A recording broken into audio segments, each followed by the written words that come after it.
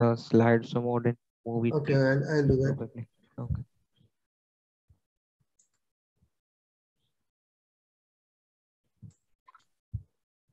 Yes, it is in a Okay. slide so and uh, just move one slide only. Uh, that should be all right. That should not be a problem. Okay, okay, okay then. Okay, my dear students, uh, so we'll start our uh, spotter session three.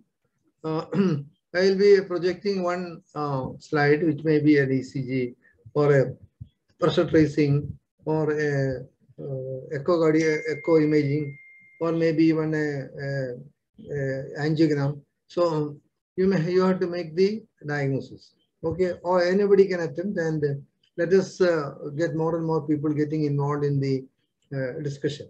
Okay, best wishes. I think there will be of uh, use to in your examination also. Okay, first slide, ECG.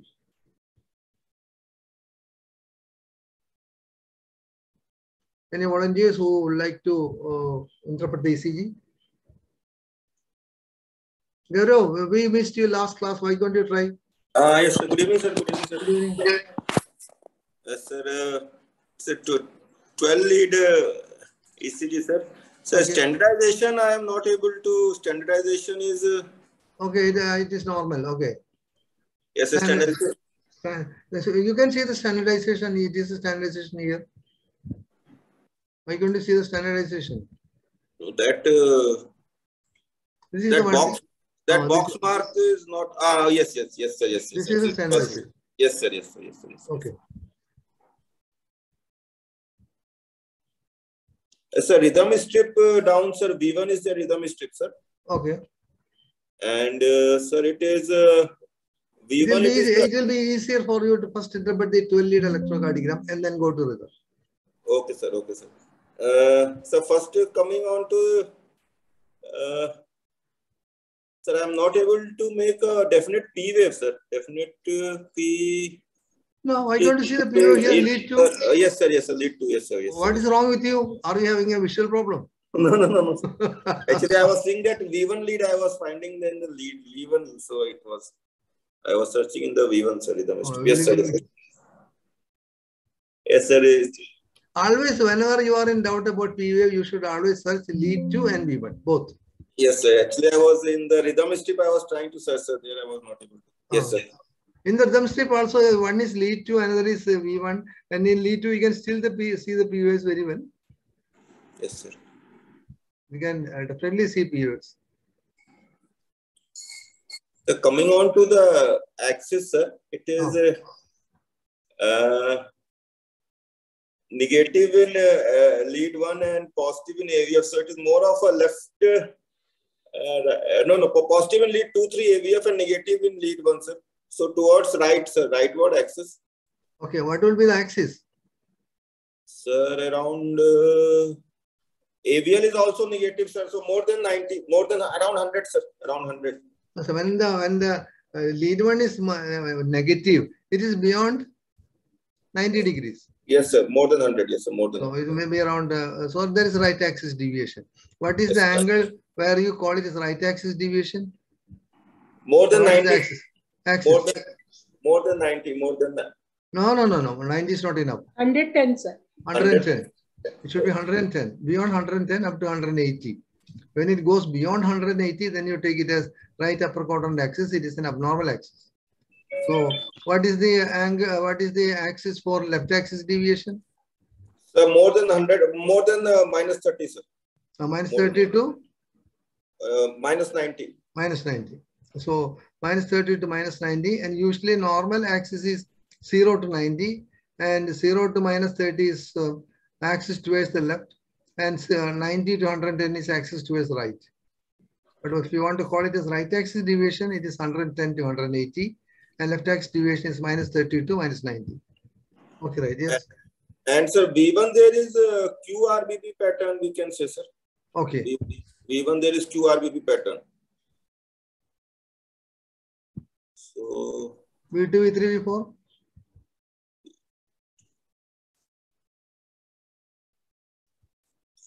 V2, V3, V4. yes, sir, yes, sir. There is a loss of R. A loss of R in V. So the sudden, uh, QR VB2, V2 is Is there, a of- is there a QA will lead to 3VF? Well, sorry, is there a QA in V2, V3, V4? yes, the QS is there. QS pattern we can say QS QS, two- there is a QR, small r pattern. yes.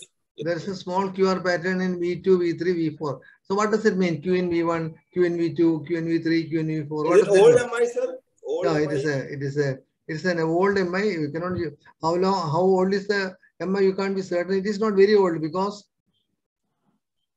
But Q wave is uh, Yeah, Because, sir, there is ST elevation with T up. yeah, there is a, there is an ST elevation and uh, probably T is getting inverted, but there is ST elevation Mm. seen And in yes, V3 and V4 is still upright, sir. yeah. V2, V3 and even V4. That may indicate that it's a, a recent Recent. anterior myocardial infarction with RBB and uh, evidence of uh, uh, Q waves in lead V1, V2, V3, V4. And uh, what else? Patient is but sir, LV forces are not very much. Sir. We can see that LV forces are not uh, so uh, loss of R and there is irregular. No, no, before that, is there a what? How will you explain the axis? Axis more than 110. Near about 130, 120. right axis deviation with RBB pattern with uh, I have to look for any other uh, block uh, is uh, Left posterior hemiblock. block, Yes, less, left posterior posterior hemiblock. block. Yes, yes. what is the axis in a patient with right bundle branch block? Right axis. normal axis. Yeah, Right. normal or you can go near about up to near, near up to 90 degrees. It can go up to 90 degrees. But even if it goes beyond 90 degrees, that, that cannot be explained by right bundle branch block only.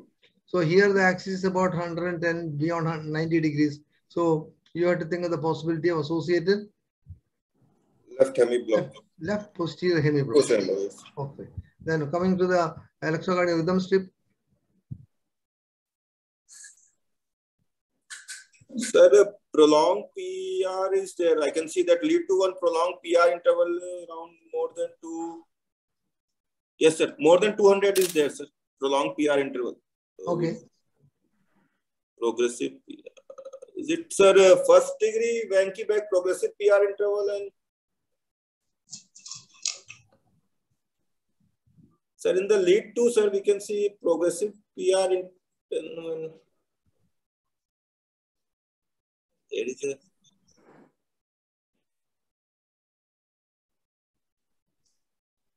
Why, there is a change in the morphology of the correspondence? So there is a, sir, uh, first two beats are the sinus beat.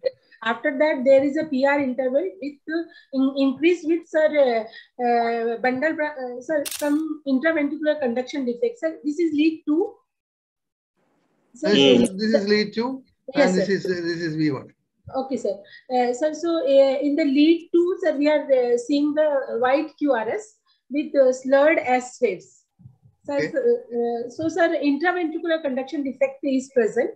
Okay. Uh, now, sir, uh, after that next beat, uh, uh, so there is, uh, uh, there are, um, sir, again you- once. Uh, Do you think yes, that there is a there is a P inside this? uh, Yes, sir. Can be. Can be there. Uh, Is there a P inside this? yes, sir. Yes, sir. That's why, sir, uh, there is a pause. Yes. Okay. That is not being conducted. yeah, there is a good possibility that there is a P here which is blocked and it's not being conducted. Not being conducted. And there is a P wave, there is a conduction. Uh, Okay. huh, huh. What is this axis? So this uh, uh, two is uh, isoelectric. It means uh, No, no, it is not isoelectric, it is more negative. Yes, a little more negative, right, sir. Yes. Huh. Uh, so, sir, It may indicate that the axis may be plus 150 or uh, yes, sir. it may, it may be negative also, ne- minus 140 more beyond minus 30. Yes, yes. Of these two, which is the more likely possibility? So positive is more likely because lead three is positive, sir. So Ah. mostly towards the positive only because lead three is positive and No, ABR lead is 3 is not shown here. Where is the lead 3 here? the upper upper hai, sir. Openly, that is, a, see, in the in the standard uh, yes, yes. Uh, interpretation. No, the two ECG has been taken at different I am asking you that where there is a change in the pattern of the QRS and lead two, yes. does this indicate left axis deviation or right more right axis deviation? So I'll go left. More, sir, left. More, more right, sir, because AVR is also negative, AVL is also negative, and 2, 3 AVF are. Uh, so. Gaurav, you are not uh, getting my question. Yes, See, sir. In the uh, 12 lead electrocardiogram, we have analyzed it. We have found that there is right axis deviation. That's Yes, sir. finished. That's finished. Okay, sir. Now Okay, go sir. to the rhythm strip. Rhythm But from strip the rhythm strip, it looks little more towards left. Yes. Why do why, why are you saying it is more towards left? Sir, because sir, the negative uh, deflection is more. So why In can't it be lead plus two. 150? Uh, Why, ca- why can't it be plus 160 or uh, beyond that? Do you like to? Uh, sir, extreme extreme axis you are telling northwest. Extreme? Sir, northwest axis. ah, not northwest axis plus 150. That is in the still in the right axis deviation range. Yes, sir. Plus 150, it can be there, sir. Plus 150. Now, if Sir, you look at the if you look at the uh, uh, circumstances, do you think that the left axis deviation is more likely or right axis deviation is more likely? Because we have already seen that the uh, standard electrocardiogram we found right axis deviation. We have diagnosed left posterior hemiblock, and so here uh, which one is more likely, left axis or right axis?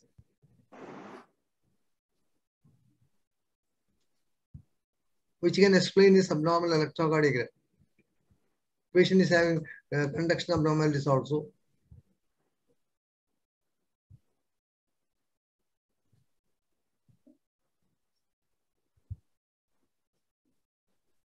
Uh, sir, there is alternating bundle branch is also there, sir, because after three bits again we are saying that can we do you, look at the lower one also. Is there an alternating bundle branch block?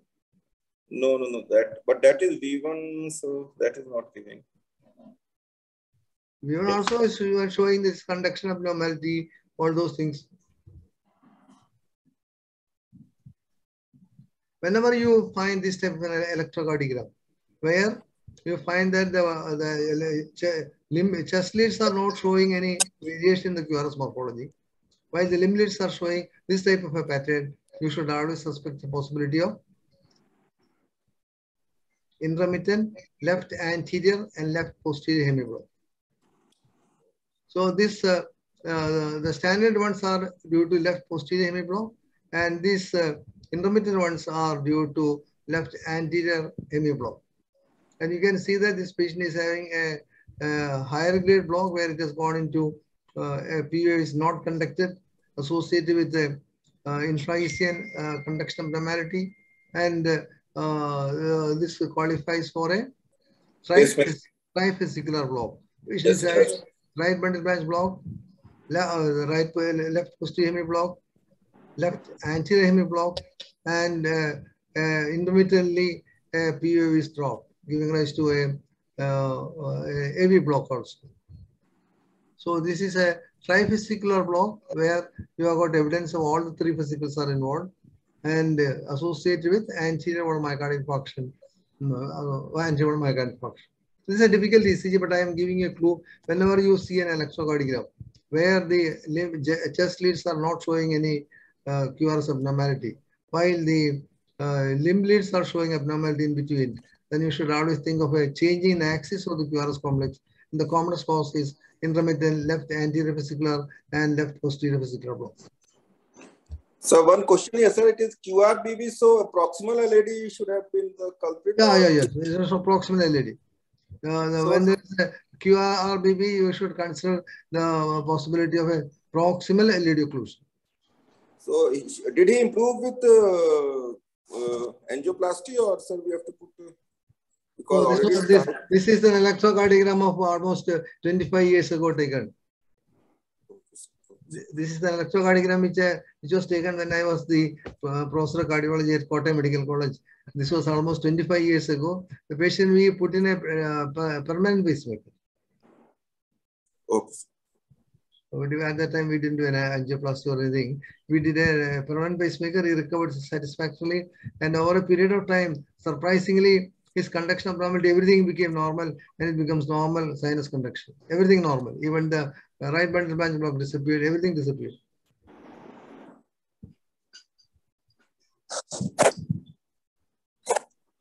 Okay, we'll go to next one. Anybody can try? Saroj, we can try.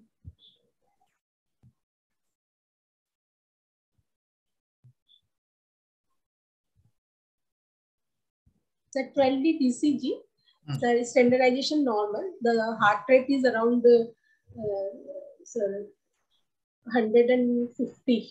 Yes. So P waves are not seen, Hmm. uh, but seen after the, the QRS complexes, Hmm. bo- both in V1 as well as the lead 2. Hmm. Sir, so this is a uh, sir, uh, nodal tachycardia, Hmm. or sir, it may be uh, sir, uh, sir. After that, sir, in the uh, V1 in the rhythm history, the heart rate has increased, you know, sir. Uh, Ah, uh, slightly more. Yes. yeah, yeah, it has increased. So, sir, uh, this, this is a uh, sir uh, either junctional tachycardia or AV nodal re-entry tachycardia, sir. Okay. So what, what do you mean by AV nodal reentry tachycardia? Or if it's a there is a problem of diagnosing junctional tachycardia because what is the uh, the the uh, Yes, yes. morphology of the The P will be inverted, sir. Yeah, in lead Yeah. lead two, lead three, and AVF you find Yes, the PO yes. is upright. Yes, sir. Rather here we are seeing pseudo S wave in Yes, lead sir. two. Yeah. Sir, I'll So, go sir- with AVNRT, sir. Pseudo R and pseudo S are there. So AVNRT will be a uh, no, no, no, no, no, no. What did you say? AVNRT? pseudo R and pseudo S, we can say no. Or, uh, yeah. Sir, uh, sir, there is a, one more possibility also, sir. Uh, uh, maybe AVNRT, but usually in case of AV and RT, we may not be able to see the R wave. It may be buried into the QRS complex. Here, sir, one more DT will come. That's a uh, long RP tachycardia. Uh, will it come, sir? Yeah, that's right. Now see, AVNRT, what is the, where is the usual P wave? Sir, It's a P wave is inscribed in the QRS or it is uh, if Just, it is after just seeing. Yes, if it usually is the after Q- the QRS then it will be less than 70 milliseconds. Yeah, usually in AVNRT, the PO is inside the QRS complex or maybe partly inside and partly outside Yes, the sir. Here fully it is outside, sir. So complex. It this is fully outside. Yes, So sir. what is, but in which one do you, you can get the, the PO Sir, PG Uh, PJRT also. Eh? So we have to differentiate between sir uh, uh, RP uh, more than 70 millisecond or less than 70 millisecond. Yes. And also, uh, of course, this is uh, uh, uh, paroxysmal junctional tachycardia is a possibility. Yes, sir. PJRT. Uh, sir. yeah, I think that is the one which you have to uh, think of the, that's a strong possibility. The long RP tachycardia. Yeah, yes, yes. I think that this actually was a uh, paroxysmal junction tachycardia and uh, uh, patients, we didn't do anything. Patient was hemodynamically stable. He is spontaneously recovered. Okay, Sir, good. age of the patient, sir, age of the patient not given. Age of the I don't remember. It is written here 65 years. In lead Then- one, you, you can see the- 60, 65 years. The PJRT in 65 years is uh, that is No, I agree with you that uh, PART okay, can occur in ischemia also. So this patient had a, um, uh, there are Q waves in seen in V1, V2, and rudimentary are in V3. And so he had a previous uh, uh, uh, anterior myocardial infarction, and he came uh, presented with this uh, uh, arrhythmia. Okay, we'll go to next one.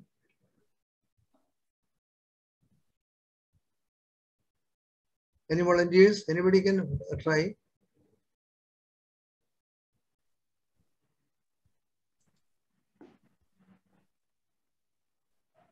Nikhil, would you like to Uh, try? Sir, it is uh, 12 lead ECG, sir. Okay. Uh, in uh, uh, th- there are multiple uh, P, uh, P waves, sir, uh, before the QRS complex. Uh, negative P waves are there, sir, uh, Hmm. like sawtooth appearance. Uh, so uh, this is the ca- case of atrial flutter, sir, Okay. with uh, variable uh, with Varying block. variable blocks, sir. Yes, Yes, sir. varying block. Uh, the, Yes, the four is to one and uh, I think three is to one. Four is Yes, to one, sir. three is to one uh, block. Okay, right? Yes. What else?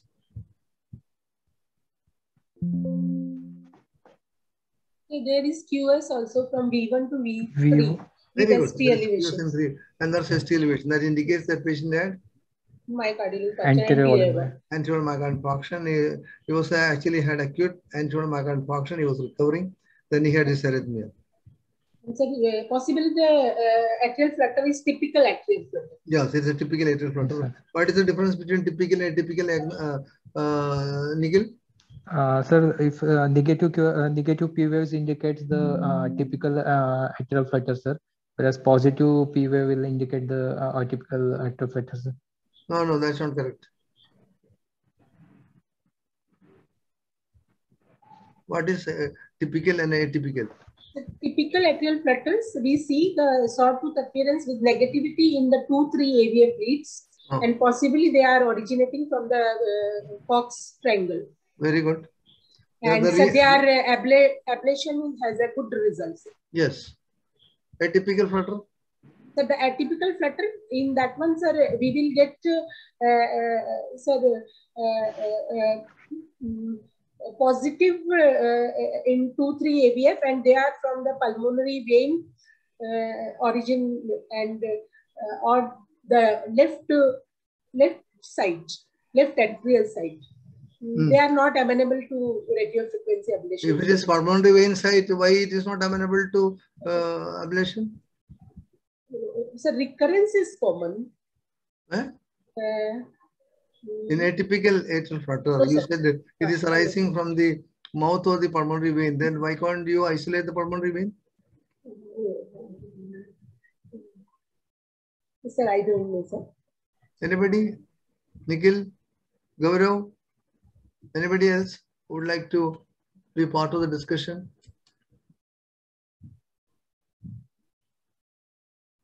Uh, uh, sir, um, Eknath, are you there?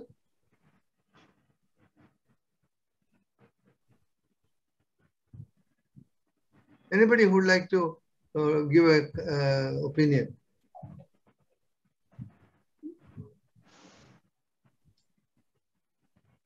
Ashok, would you like to give an opinion? Anybody? Okay, say the uh, atypical flutter is the, the, the flutter waves are usually picked up in V1. That's the usual pattern. It is best seen in V1. And in atypical flutter, usually the re-entry circuit can be anywhere in the atrium, more often in the interatrial septum. So because it has got multiple re-entry sites, ablation is not possible. So in a patient with atrial flutter, where the flutter waves are best seen in V1, it qualifies for atypical flutter, where the uh, the site, the, the, the re-entry site is uh, anywhere in the atrium, most often in the interatrial septum, and it is not amenable to uh, radio frequency ablation because of its multiple sites. While in the, the typical flutter, it is in the Koch's triangle, and you will be able to ablate the arrhythmia with very good result. So this is a case of typical atrial flutter in a patient with anterior myocardial infarction, recent anterior myocardial infarction, where there is also STSM in the elevation seen. So how will you diagnose atrial flutter? Any one of you? How will you diagnose? What is the usual rate? Rate is around 150, sir. Yeah, 300. usually in atrial flutter, very often you get the fixed rate. More- Fixed the rate, yes, flutter rate will be around 300 and the ventricular rate will be either 75 or 150. So Mhm. whenever you find that the patient is having a rate of 150, sometimes the, uh, the, the, the flutter wave, what you are seeing is between the two QRS complex and the other two flutter waves may be inside the QRS complex. So you should be very careful. Whenever there is a fixed rate of 150, you should carefully look for whether it is an atrial flutter or not. And sometimes uh, uh, more, uh, you can get a fixed rate 75 where it is a 4 is to 1 conduction. Usually the flutter uh, atrial conduction is either 4 is to 1 or 2 is to 1. That is usual pattern. Here some of the conductions are 3 is to 1, but that's not very usual. Usually it is 4 is to 1 or 2 is to 1 with a fixed rate of 75 or 150. Okay, we'll go to the next one.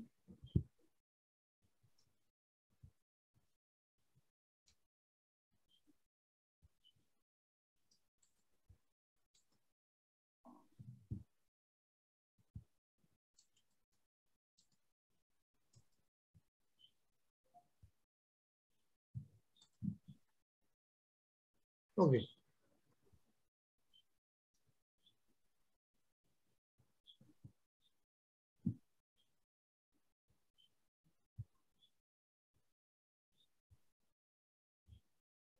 Diagnosis. This is not difficult.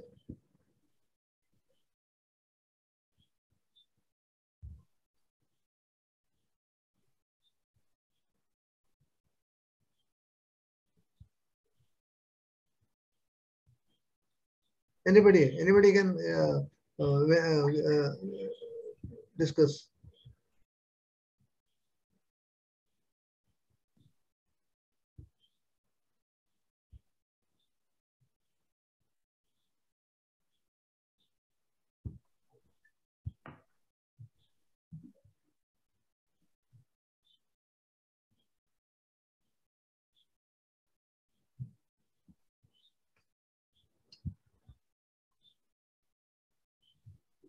Anybody? I think somebody should volunteer. Gaurav, try. Yes, sir. 12 lead electrocardiogram. Ah. Uh, standardization, uh, it is, uh, yes, sir. Normal standardization. Okay. So heart rate around 100 per minute. Eh? Heart rate around 100. There's some difficulty in. Uh, yes, not- sir. That I think uh, it is around 100, sir. Around 90 to 100. No, no, no. 150 at least. 150. It's 150. Okay. It's uh, it is 150 because the the the lines on the ECG paper is not very clear. Mhm. So, but I am telling you the rate is 150. Okay, right? Yes. Then first DD is uh, flutter with 2 is to 1. Yes. Whenever you get a heart rate of 150, carefully look for Uh, inverted P wave flutter waves. flutter waves. Okay. In flutter waves, which is inverted, is it the uh, the the P wave or the P, uh, TA wave? P inverted P. P wave side. Is it a uh, repolarization, depolarization wave or a repolarization wave? Which one is positive? Which one is negative? Flutter is a and Sir, repolarization will be negative, sir. Hmm? Repolarization rate will be negative. Repolarization is negative, and uh, uh, depolarization is Sir, uh, here, uh, which one, sir, we are seeing in lead V, V1, so we can see the uh, two P, uh, P waves, but the sir, repolarization is negative, sir. uh, what is the pathway taken by the uh, uh, depolarization? Uh, once there is a re-entry circuit, how is the atrium depolarized? Is it atrium is depolarized from above downwards or uh, below upwards? From below upwards. Oh, so when it is depolarized from below upwards, you expect the uh, wave in lead two three we have to be positive or negative? The negative, sir. Negative. negative. The P waves to be negative. Yes, the, the depolarization wave, we cannot use the word P wave, it's a flutter wave. The depolarization flutter wave is negative and repolarization flutter wave is positive. So the repolar, depolar, the, from the from near the AV junction, the depolarization process goes up, that will negative produce a negative wave, and when it comes back, it becomes a positive wave. So depolarization is positive, you know, negative, and the repolarization is positive. Okay, so uh, the- the- do you do you think that what may be the cause? This patient is having some more abnormality. Ischemic. Mhm. Why did you say it's ischemic?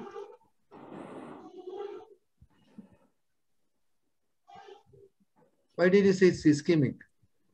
Uh, sir, the Q waves uh, in V1, sir. Eh? So lead V1 Uh, and the- AVR both are showing ST elevation, sir. Okay, there's V1, some, V2 and AVR. oh, there's some minor ST elevation in V1, and uh, Oh, probably V2. there's a doubtful ST elevation in AVR. And sir, flat ST depression in the lateral leads. Okay. mm.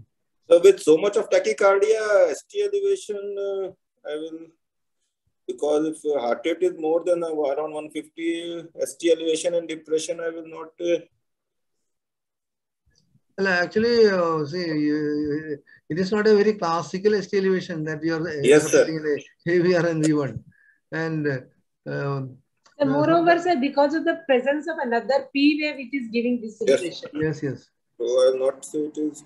Say atrial flutter in a patient has got a right axis deviation, you are getting an RSR dash pattern. Uh, do you think that uh, you like to think of a, a positive diagnosis also? This was a case of actually ASD.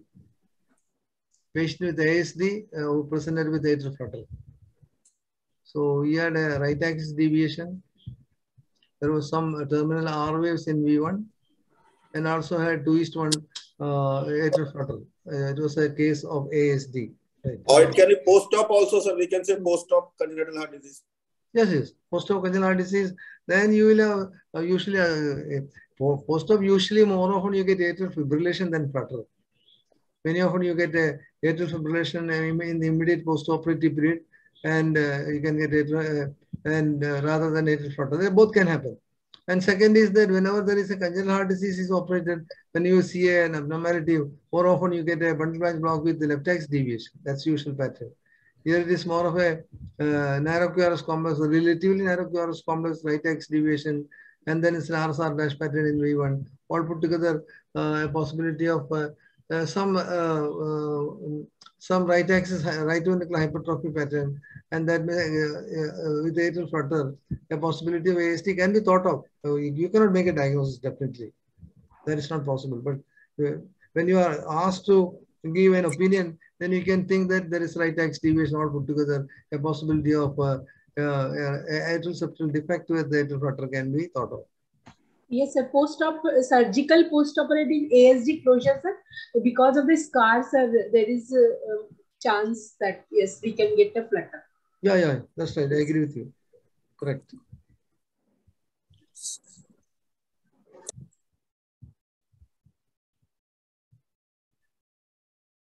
Saroj, would you like to try? You Yes, sir. try. Yes, yes, yes, sir.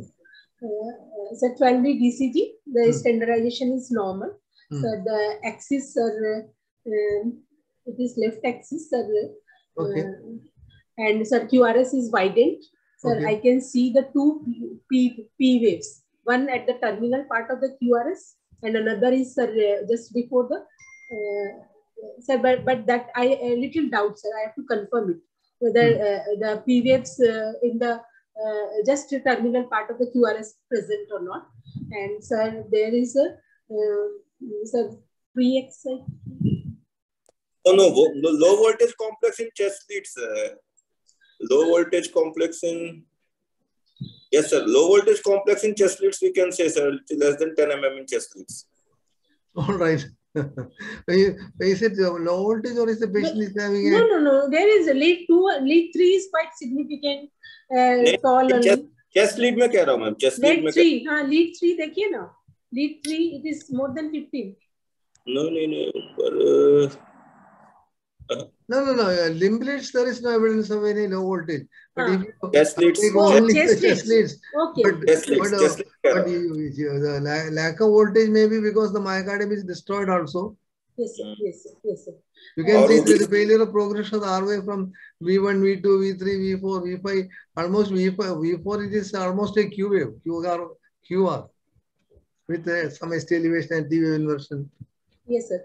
Uh, uh, then, sir, in the lead V1, sir, there is a prominent R wave. Yes. Uh, so, sir, I have to think uh, that whether patient has got a posterior wall MI or not.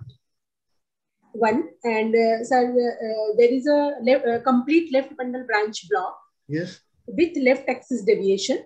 Hmm. With uh, sir, uh, uh, whether sir uh, P two periods are there or not. Little confusion is there. And Hmm. sir, uh, in I case think you are right. There are two PVs. Uh, one Yeah. PV is Huh. uh, over here and uh, uh, I uh, and sir, point. presence of Q waves in pre- uh, in presence of complete left bundle branch block, so Hmm. suggests that it is a sir myocardial infarction. very good. How will you diagnose uh, uh, the previous myocardial infarction or even okay, what are the points by which you diagnose acute myocardial infarction in presence of left branch block? And how you diagnose the a what are the indicators of a previous myocardial infarction in presence of left batch block? Sir, Sgarbossa criteria. Okay. Sir, in which sir, there are uh, sir, uh, uh, points are there. Sir, if suppose it, it is in the uh, concordance uh, limb uh, leads, sir, uh, in which we are seeing the Q and ST elevation. If concordance, only one ST elevation will be enough uh, to give a point of uh, three. Uh, Whereas, sir, if discordance, then sir, ST elevation 5 mm. Uh, that will give point of uh, 2. Just just a minute, just a minute, uh, Saroj. Yes. Hello. Good evening.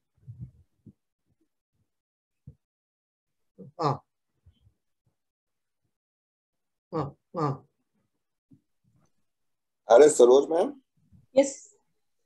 Lead V1 positive है तो LBB हाँ। कैसे कह रहे हैं? V1 में देखो LBB के लिए QS होगा ना लीड V1 में। हम्म, एक हाँ। हाँ। राइट तो एलबीबी कैसे बोल रहे हैं आप? एलबीबी लीड वन में देखिए। हाँ lead one one one. V ए भी अलग सिक्स लेकिन वी फाइव सिक्स हाँ हाँ। लेकिन V1 में अगर और QRS Yeah. भी V1 में उतना वाइड नहीं लग रहा वो वो वो ना क्यूआरएस का पार्ट है जो एसटी लग रहा है ना आपको वो देखिए क्यूआरएस का पार्ट है। ए, ए, ए, एक कोई लीड में तो कम नहीं होगा ना। सारा लीड में क्यूआरएस नहीं, यदि वो QRS वाइड तो है लेकिन आप जनरली जो ये एलबीबी आरबीबी जनरली V1 के बेसिस पे ही बोलते हैं ना। तो नहीं, V1 के साथ no, no, don't give one, the 75. हम्म, नहीं नहीं ऐसे कोई ज़रूरी नहीं है। आप हाँ, करेक्ट है कि वीवर हाँ, हाँ, में प्रोमिनेंट आर आ रहा है। वो मैं एक्सप्लेन नहीं कर पा रही हूँ presence of LGB because of V one and V five and V six We'll give a ticket so, Pradhan uh, explain tomorrow morning also. 75 milligrams. We will explain नहीं कर होना चाहिए अगर अगर आप कंप्लीट एलबीबी बोल रहे हो तो So, V1 में 190 milligrams and 75 milligrams of aspirin. Okay. QS आना चाहिए ना? हाँ वही मैं कह रहा हूँ कंप्लीट एलबीबी बना रहे हैं तो क्यूएस आएगा ना। या तो फिर ये लीड पहले ले लिया है ये हो सकता है ज़्यादा इंटीरियर ले लिया है इसने। ऊपर का। राइट ये हो सकता है लीड प्लेसमेंट में ऊपर नीचे हो गया होगा। राइट है. सर से पूछते हैं।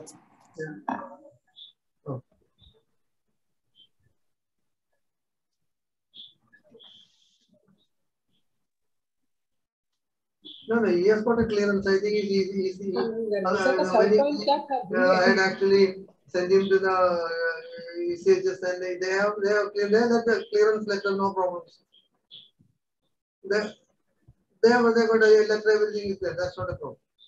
Here it does not have any problem. The other patient who, who is for a angioplasty to the OM, he, uh, he also has got a. Uh, I also sent him uh, to the uh, to the uh, uh, the CASP center and I think uh, they have also cleared, but uh, I have asked him to come in the morning so that any formalities which is remaining can be completed.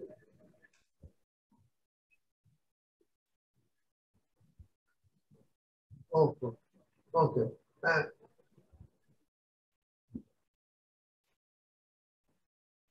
okay. Oh. Oh, and what about that uh, uh, lady we had admitted on uh, on Friday, Thursday? One lady. We,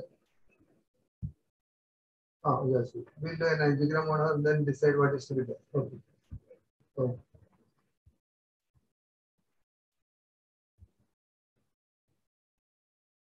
Okay.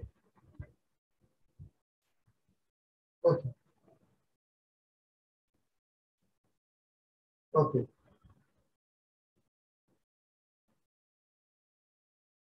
okay, fine. Okay, great. Okay. So we'll, try to start uh, sharp 9:30 because at 9:30 the uh, uh, the IVS people will come. Okay, okay, okay, okay. okay,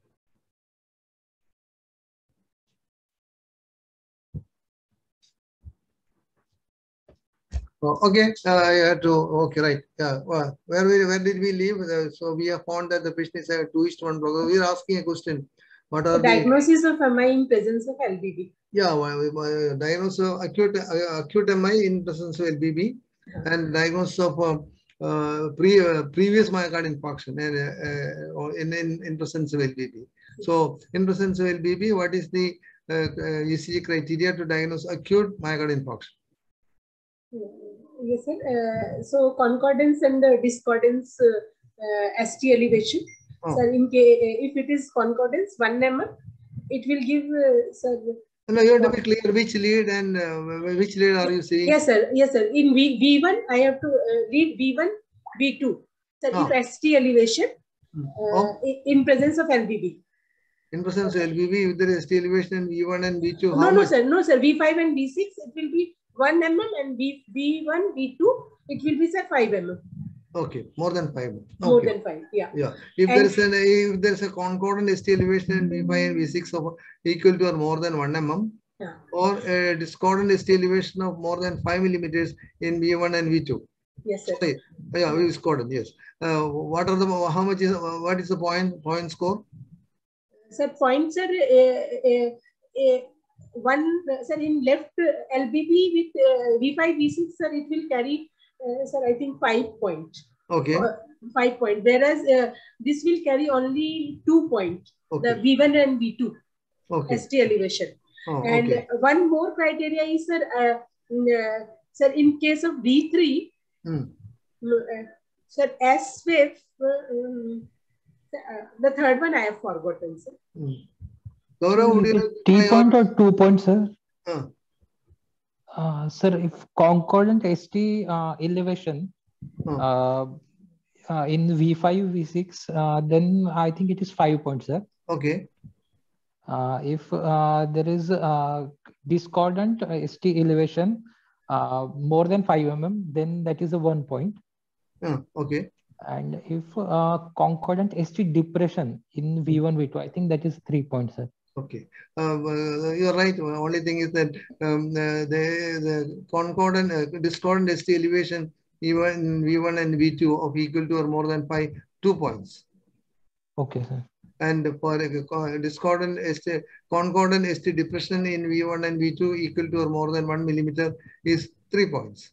Yes, sir. And okay. uh, uh, concordant ST elevation in V5 and V6 equal to or more than one millimeter is uh, five points.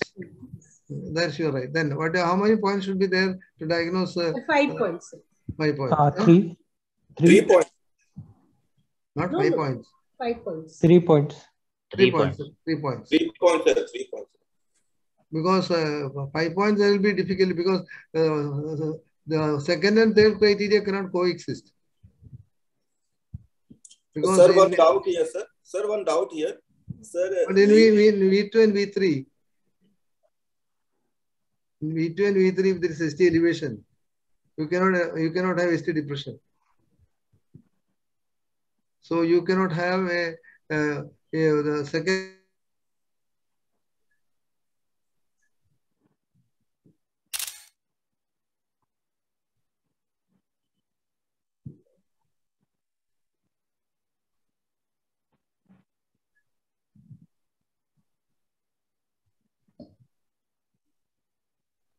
Ma'am यहाँ तो एक ही criteria है ना? V five V six S elevation और तो कुछ है हाँ हाँ हाँ। सर का आवाज़ चला गया कि? सर का लगता हाँ। लाइट चला गया लाइट हाँ चला हाँ गया। हाँ राइट हाँ। और ये अ, मेरे को अभी भी नहीं लग रहा है वी वन में अगर इतना पॉजिटिव तो इसको एलबीबी कैसे बोल रहे हैं? क्योंकि अगर भी V1 में थोड़ा डाउटफुल लग रहा है। हाँ वीवन में डाउट लग रहा है। आर आर इतना, बड़ा आर है उसमें तो, तो फिर एलबीबी कैसे बोलेंगे? हाँ। क्लास बंद हो गई? सर का लाइट सर को चला गया। लगता है फिर से ज्वाइन करना पड़ेगा। हाँ लाइट चला गया लगता है नेट चला गया उनका। वो जो वाईफाई रहता है वो नेट पे डिपेंडेंट रहता है ना मैम ये लैंडलाइन वाला। हम्म हम्म हम्म यही होगा। हम्म।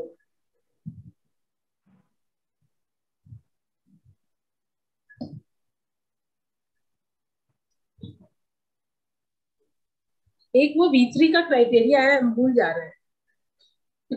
नहीं नहीं और S T elevation one ABL भी है यार Nikhil. One M M one ABL और बी फाइव सिक्स है ना?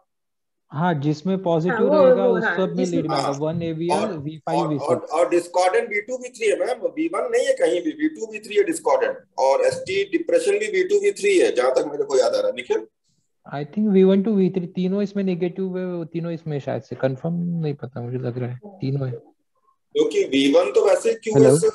QS हाँ, हाँ गौरव सर ये डॉक्टर इज़ जस्ट ज्वाइनिंग कुछ इलेक्ट्रिसिटी का ही है तो वो जस्ट हाँ. हाँ, हाँ, अभी understood, अभी understood.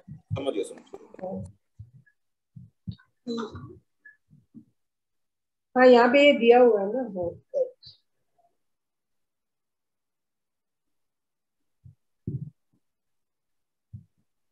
ये V1 to V1 V3 V1 to V3 है? ओके। मैम जरा ग्रुप पे डालिए वो सात दोस्तों का क्राइटेरिया फ़ोटो खींच आप नया का 157 देखिए। अरे मैं मैं एक्चुअली सीसी में हूँ ना मेरे पास अच्छा अच्छा ओके ओके ओके। मेरे पास कोई बुक नहीं है। अच्छा बता दी बता दी। नहीं नहीं उसको ग्रुप ग्रुप पे डाल दीजिए ना फ़ोटो खींचे ग्रुप पे डाल दो।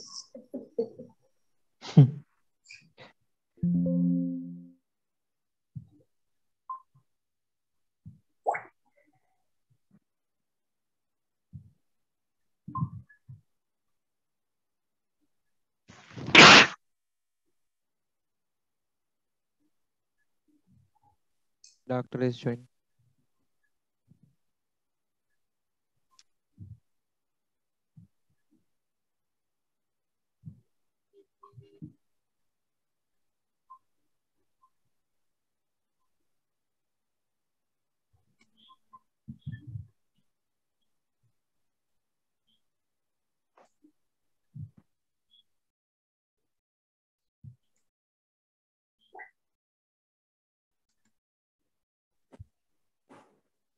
Okay, sorry about that. My electricity, there was a there was electricity failure. Okay.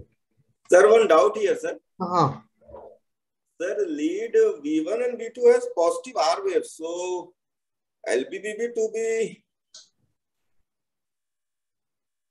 Uh, that what I was discussing with uh, that's also because lead V1 and V2 has positive R wave, So LBBB should have QS in V1 and V2 at least. So no, LBB can have small or deepest in V1. but here you see the R wave is more positive than S Yes, yes, sir. Uh, that is one of the criteria to diagnose uh, uh, previous myocardial infarction. okay. That's one of the criteria to diagnose previous myocardial infarction in presence of a left branch block. So this patient uh, uh, or a, uh, uh, where a uh, Q, Q wave is already found because this patient has got evidence of a already Q wave is found because you can see that the R wave height is decreasing, decreasing, and then you have got almost a Q wave in V4. And also you can see ST elevation in V4, V5, V- and V6. So there is criteria to diagnose that this patient has got acute uh, myocardial infarction with left branch branch block. And on top of that, there is a, uh suspicion that already Q is formed. And uh, the presence of R wave in V1 may indicate uh, the possible uh, an R equivalent to a Q wave in in the, the V5 V6 V5 V6 in the regular electrocardiogram. yes. Do you get usually a Q wave in uh, V5 and V6 in left branch branch block? No, sir. no, No. sir No. Sir, this is the Q old is there that indicate old M minus. huh? Yes. So Q there's a- also. So this is old MI. So Q in Yeah. AVL also.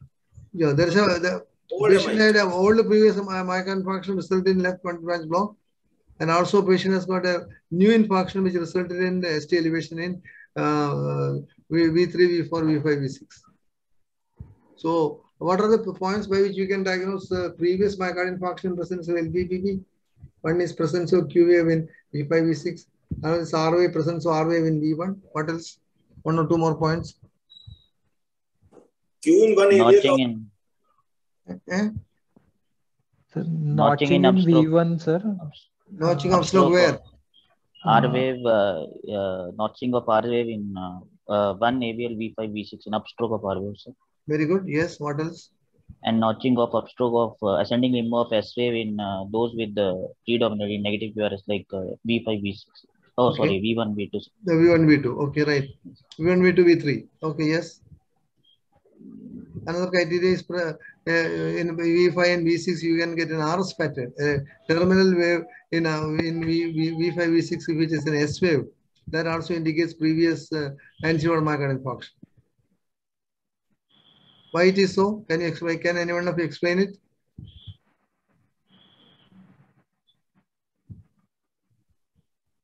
How can uh, uh, presence of a terminal S wave in V5, V6 indicate uh, previous myocardial infarction in presence of left bundle branch block?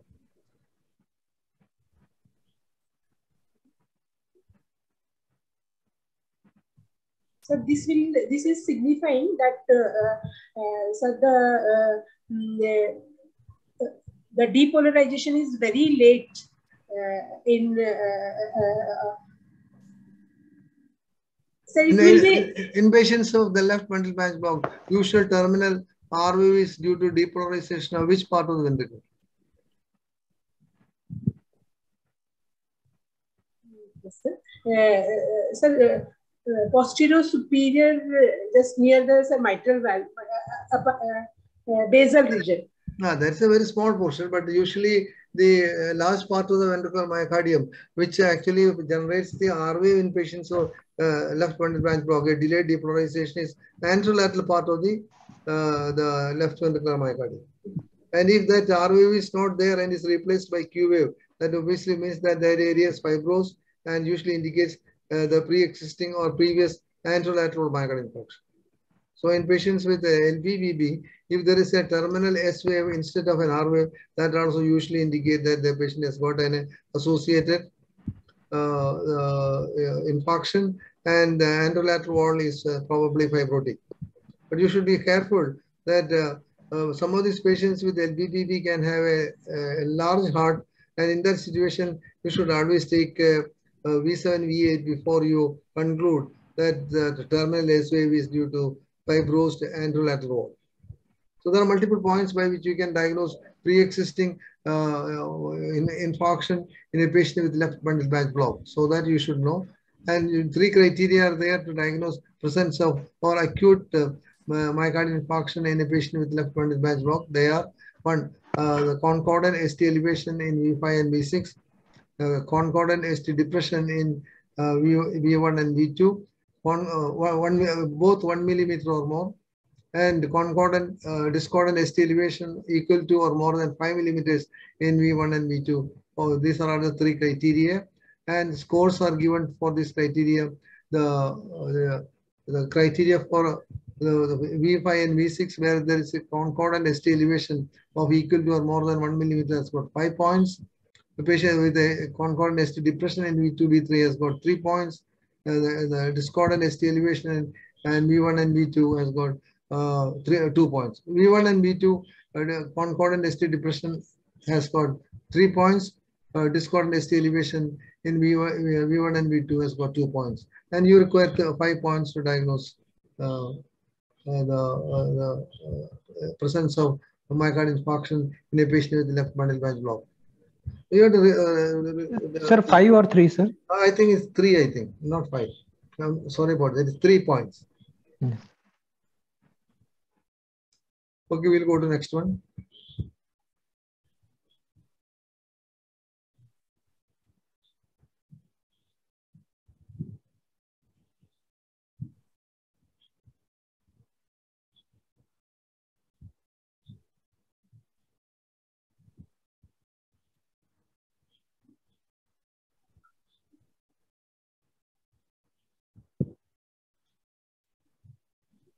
What does it show?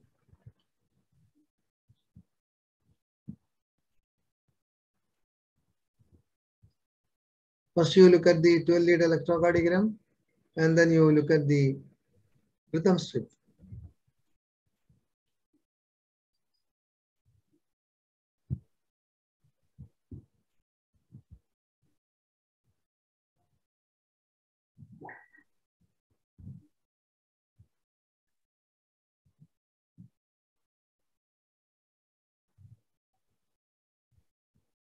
I'll give you a clue. The main abnormalities you are seeing a, a, P waves, sir. P waves. a small wave here.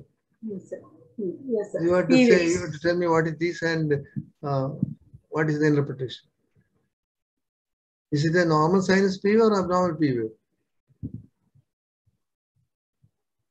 Sir, abnormal P wave, sir. Abnormal P wave. So, so what is happening to that P wave? Sir, in the rhythm strip, sir, first we can see that there is a very short PR interval first.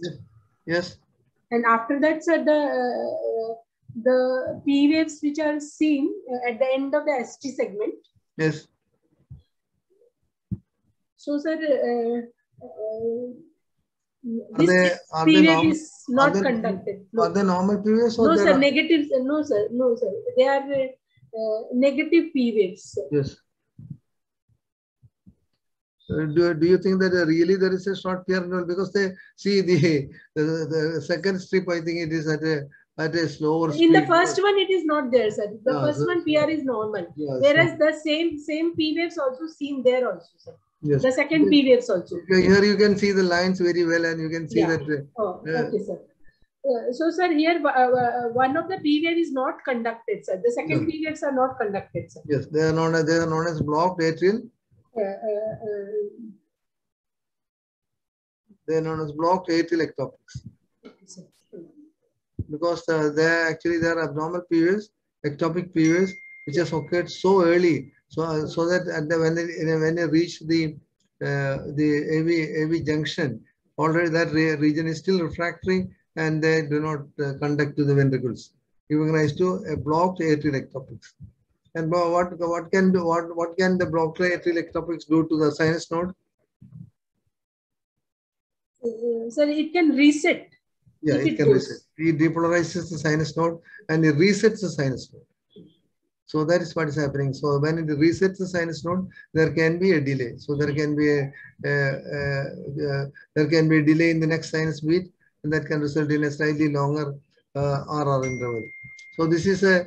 Uh, do you think that patient has got any other abnormality? Do you think that there is a uh, Prolonged, sir, prolonged QT, sir.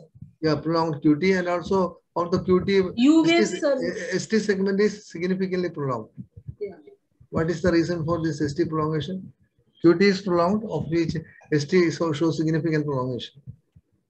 Uh, So this will be um, uh, prolonged QT syndrome of type uh, where sir,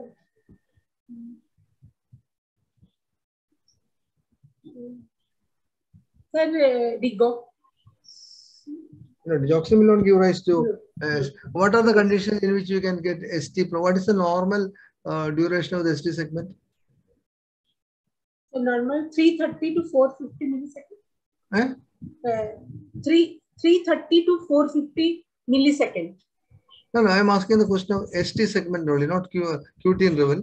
What is the duration of the ST segment, normal ST segment?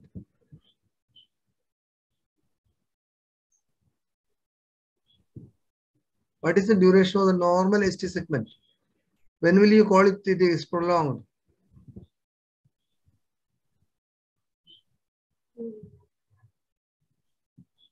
So from the Q, uh, QT, if we deduct the uh, QRS duration, uh, that QRS duration usually is less than uh, normally is at 80 to 100 millisecond. So, so uh, will it be around 250 millisecond? For? ST segment?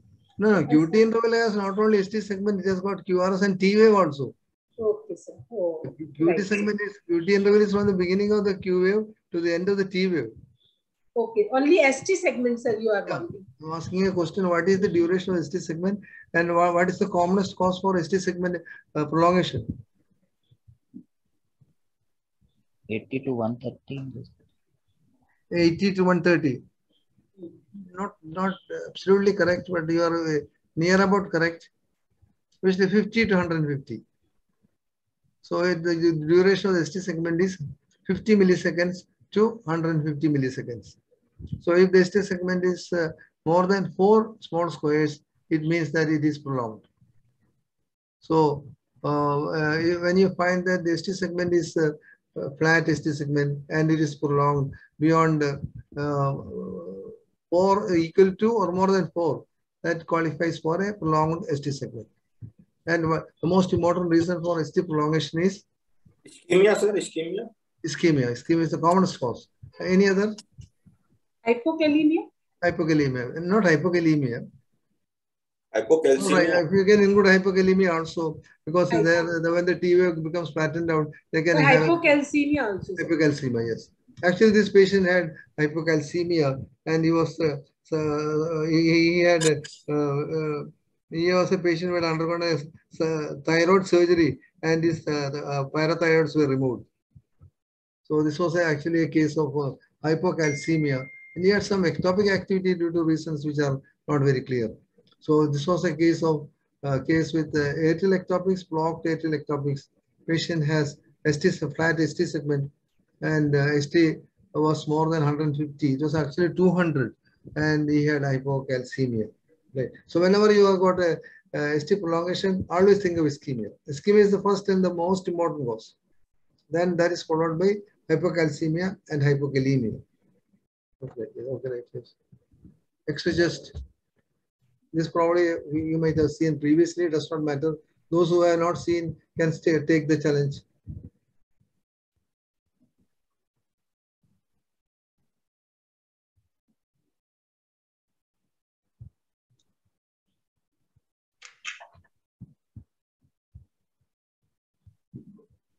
So obviously you are seeing a lot of uh, uh, white shadows on both sides of the both lung fields. So obviously that is Sir, acute pulmonary edema, sir, bat's wing appearance, but sir, there is a sir, uh, valve is also seen, mitral valve, sir. Yes. Or, or sir, so the position, so I think mitral valve only. yes. How will you diagnose? Uh, how will you make out whether it is a mitral valve or not? Uh, Sir, from the uh, uh, hilum to the costophrenic angle, if Oh. we draw a line, then it will be sir, below or up. So if it is up, then it is either pulmonary or aortic, and if it is below, then it is tricuspid or mitral. Yes. You draw a line from the uh, right costophrenic angle, sorry, uh, from the right uh, cardiophrenic angle to the lower part of the pulmonary artery segment and find the point where it cuts the uh, lateral border of the left, uh, the left lateral border of the spine and below and uh, lateral will be the mitral valve and above medial, above and medial will be the aortic valve. The mitral tricuspid valve will be slightly lower. So Yes. in this line, the one which is below as the at the point where it cuts the lateral sternal border, here it cuts the if you draw a line from here. You draw a line from here up to the lower part of the pulmonary, artery segment somewhere here. It cuts here and the valve, uh, mitral valve will be below and slightly lateral. And one which is above and medial will be aortic valve. Aortic valve will, uh, will be mostly superimposed on the spine in a PA view. If you, if you want to see the aortic valve, what is the best view? What is the best view to look at the aortic valve? Lateral view. Lateral view. Lateral view is the best view to look at the aortic valve. In, uh, in lateral view, where will be the aortic valve? Uh, Yes, sir. Uh, uh, In the lateral view, sir, we will uh, divide it into three segments, sir. Oh, Anterior, middle, and posterior. Uh, Sir, so uh, if it is, sir, anterior, uh, uh, then it will be, sir, pulmonary. Hmm. Uh, Middle and posterior.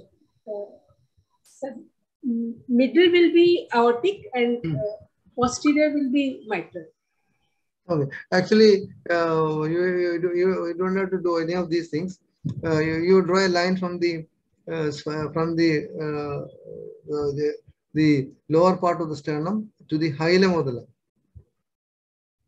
In the lateral, you can see the hilum as well as the lower part of the sternum, where it meets the meets the, uh, the the diaphragm. So you draw the line from the uh, uh, from the sternum diaphragmatic junction to the the hilum of the lung. The mitral valve will be, the aortic valve will be in the center of the uh, lateral, uh, the cardiac shadow. It will be exactly in the center. And as you rightly said, in the if you draw this line, in the middle will be the aortic valve, just below will be the mitral valve, and just above will be the pulmonary valve. You're right. But uh, you need not worry. Uh, you look at the cardiac silhouette, and the valve which is in the center part of the cardiac silhouette will be the aortic valve. More towards the posterior part will be the mitral valve, and more anterior and above will be the pulmonary valve. So By looking at the lateral view, you are able to make out the pulmonary, the aortic valve very well. So here, uh, so what is the cause of this pulmonary edema? Sir, stuck mitral valve, thrombosis. Mitral valve. So, most likely due to Sir, uh, with the patient has not taken the uh, anticoagulation. Yes. So patient patient uh, uh, missed the anticoagulation and uh, uh, the uh, the problem was secondary to a thrombus formation. What will be the management? Sir, uh, uh, this is sir, uh, such a sir. Uh, uh, this case, surgery has to be done, sir. Yes, surgery is the most ideal treatment. Yes, sir. Uh, But- if the surgery is not possible because Ah. the surgeon is not, not taking over the case, the patient is in hypotension, patient is in very bad shape, what will you do? Then, sir, we have to thrombolize patient. Yes, thrombo- What is the problem of thrombolysis? Sir, the embolism, uh, cerebral embolism. Yes, there is a, a percentage of patients can have develop the cerebral embolism because when you give thrombolytic therapy, the clot may be lysed partially and some of the clots may get dislodged, they may go and cause massive cerebral embolism. And this patient had cerebral embolism. When uh, we gave thrombolytic therapy, the patient recovered very well and the patient went in for uh, acute uh, uh, hemiplegia, massive hemiplegia, and from which we could not save him. Okay, so whenever you see, uh, can you tell me few conditions where situations where the heart can remain small and can have pulmonary edema? Heart is small, small One is pulmonary edema. mitral stenosis, sir. Mitral stenosis, very good. Uh, in mitral stenosis, when they develop pulmonary edema, acute pulmonary edema. The, the, the event which pro- pro- produces the pulmonary edema most of the in most of the situations. Sir, uh, usually, sir, ball wall thrombus. All right, valve thrombus. Before that, when the patient develops atrial fibrillation. Uh, patients with mitral stenosis, severe mitral stenosis, when they develop atrial fibrillation, they very often can go for acute pulmonary edema. Why? Uh, is it what? What question, sir? Uh, in patients with mitral stenosis, when they develop atrial fibrillation, there is a risk that the patient can go for acute pulmonary edema. Why do they develop acute pulmonary edema when they go in for atrial fibrillation?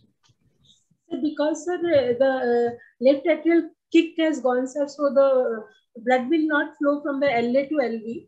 As a result, sir, Level blood will flow, but flow, the but- atrial support won't be there. Okay, one sir. uh, lack of atrial support. One, two. More important than that.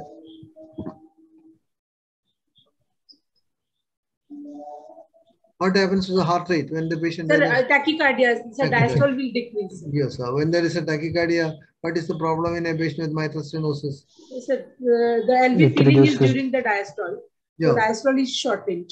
Yes, whenever there is tachycardia, the diastole is shortened, the value filling comes down, and that will result in what, what will happen to the left atrial pressure?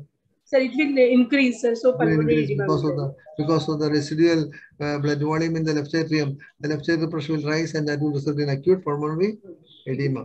So patients with mitral stenosis, when they develop atrial fibrillation, that is the time when they develop acute pulmonary edema. And sometimes patients with mitral stenosis can have a normal sized heart and can go in for acute pulmonary edema. Clue for the diagnosis of mitral stenosis would be you can see the pulmonary artery segment is prominent and left atrial appendage also will be prominent in these patients. Okay, one uh, mitral stenosis. Another uh, one or two conditions more. Sir, acute, Acute MI, MR, sir. MI, MR. Acute, Acute MR. acute MR. And, sometimes in acute MR, yes, uh, but of course usually the acute MR mostly occurs. In what are the situations in you can get acute MR? Infective endocarditis. Infective endocarditis, In uh, acute MI. trauma. Acute MI, Uh, sir, sometimes uh, itro, itrogenic, sir. yes, nitrogenic. What is it? Uh, sir, uh, uh, like, renal artery stenosis. Uh, what? Uh, Hmm? Flash pulmonary edema, sir. Yeah, that's right. Now, before that, uh, question is, um, what are the conditions you can get acute mitral regurgitation? You have already mentioned it too. Uh, trauma, there, sir. Yeah. So other is uh, uh, trauma. Trauma can also sometimes there can be mitral valve avulsion, mitral valve damage that can result in mitral, acute mitral regurgitation. Okay. and sir, degenerative mitral valve, like mitral valve prolapse, uh, uh, But you need ca- chordal rupture. Yes, I agree with Yes, you. Chordal rupture or uh, associated with mitral valve prolapse, you can get chordal rupture, or sometimes you can get a partial rupture of the papilloma. They can have acute mitral regurgitation. Another is uh, uh, in the cath lab. Why did you forget about that? In the cath lab, Yes, patients when they have Yeah. undergo the balloon valvuloplasty, Uh, valvuloplasty, they can develop acute mitral regurgitation. And similarly, when if it is not being done now, previously when the surgeon used to do closed to mitral valvotomy, sometimes the patients can go for acute mitral regurgitation. So these are the few situations where there can be acute mitral regurgitation. And if it is a real acute mitral regurgitation, the heart may not be large and you may get a normal sized heart. Or a few more conditions where there can be normal sized heart, acute pulmonary edema. You, somebody has said about flash pulmonary edema. What are the causes? Uh, renal artery stenosis, sir. Yes, renal artery stenosis. Sometimes there can be an acute rise in blood pressure and that may give rise to an acute pulmonary edema. Yes. Acute AR also, sir. Ah. Acute AR. Acute AR, yes, acute AR can give rise to acute pulmonary edema. Acute myocardial infarction, sir. Acute, my- acute ischemia. Sometimes ischemia Ischemia. induced acute. Um, uh, uh, sometimes patients can go, go for acute pulmonary edema, especially uh, ischemia induced uh, uh, LV, LV dysfunction, and if it is mostly uh, diastolic dysfunction, they can result in acute pulmonary edema. Sometimes the heart may not be large. So these are the few situations where the heart size may And not be large. HCM patients, are young HCM patient going for failure, sir, they can also have a small heart with uh, Why should they go for acute pulmonary edema? HCM with first episode of AF. And Well, usually they develop uh, syncope. That's usual pattern. When there is a uh, AF in a patient with the HCM, there is a significant drop in the cardiac output. They go for syncope. That's usual pattern. SAM can acute MR if uh, SAM. Uh, SAM cannot give acute MR. These patients can have MR, but not acute MR.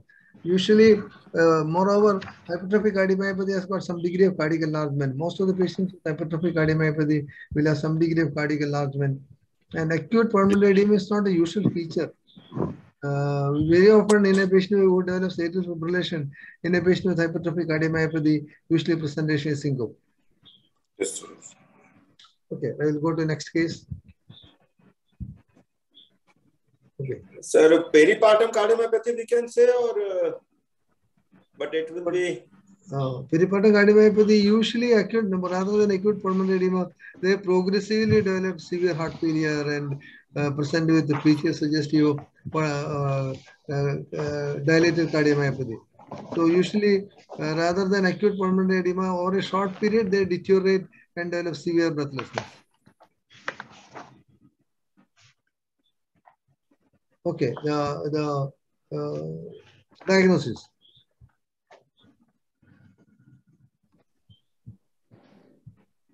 uh, severe aortic stenosis, sir. Aortic stenosis.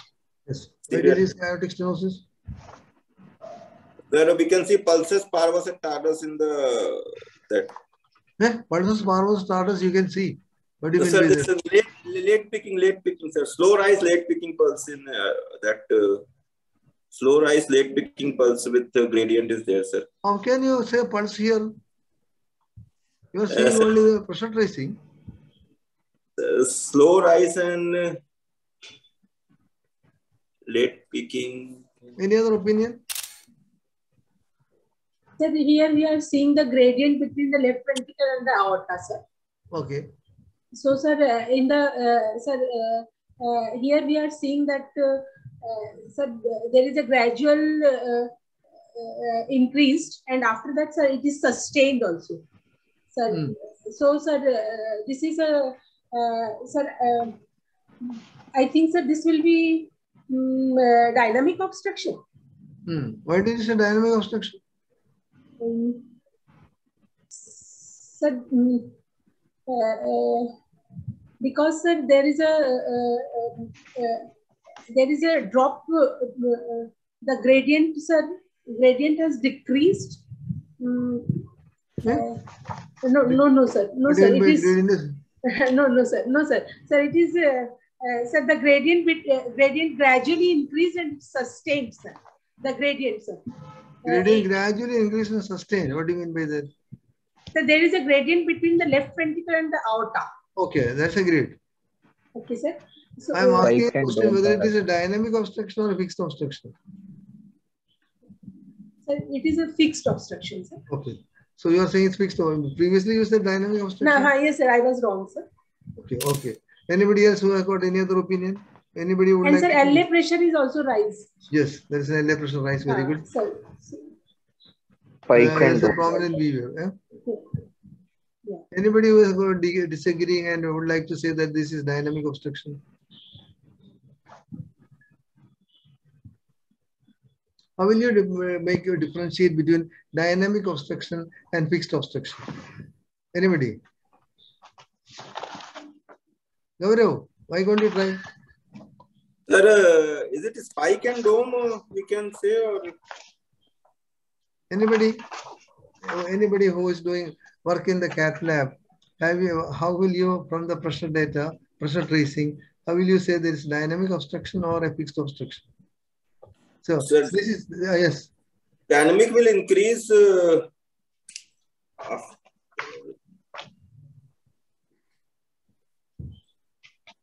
Sir, fixed will have the. in dynamic obstruction, is there a, uh, in the beginning of the systole, is there an obstruction? No, sir. Dynamic in the beginning, it will not be have uh, any obstruction, sir. So there- there is no obstruction. So if there is no obstruction, what will, how will the aortic pressure rise along with the LV pressure? after the ejection time, not ejection in the initial phase you said that there is no obstruction in a dynamic obstruction so what will happen to the aortic pressure and lv pressure will they rise simultaneously Both will increase simultaneously. Sir. yes, sir. simultaneously, yes, sir. so that's what you are seeing here see the pressure is rising simultaneously and after that suddenly there is a obstruction and it has become a gradient between the lv pressure and the aortic pressure so what is this is it a fixed obstruction or a dynamic obstruction The dynamic. Dynamic obstruction. Dynamic obstruction. Initially, there is no obstruction, and there is an obstruction here. And there is this is associated with a prominent V wave. So most likely, patient is having associated mitral MR. mitral regurgitation. Okay. MR. Uh, That, that, that spike and dome, we can say there, sir, or it is better not to comment on that. Uh, spike and dome. Well, you're saying about spike and dome. You can actually spike and dome is mostly in the pulse tracing. How can you uh, hear? Well, you can say that sometimes you will be able to see if there is a sudden rise in the uh, pressure. um, there is a dome here. I don't know whether you can call it a spike and dome. Spike and dome is mostly HCM pulse tracing. Initially, there is a rise. They can this can be called as a spike, and there is a dome here. If you use the word, then you have to explain saying that initial rise along with the LV is considered as a spike, and then is followed by a, an obstruction, which is the dome. You can explain it, and you can hear the uh, mitral, see the mitral regurgitation, which is given a prominent view. Yes. Okay, right. We'll go to next one. Yes.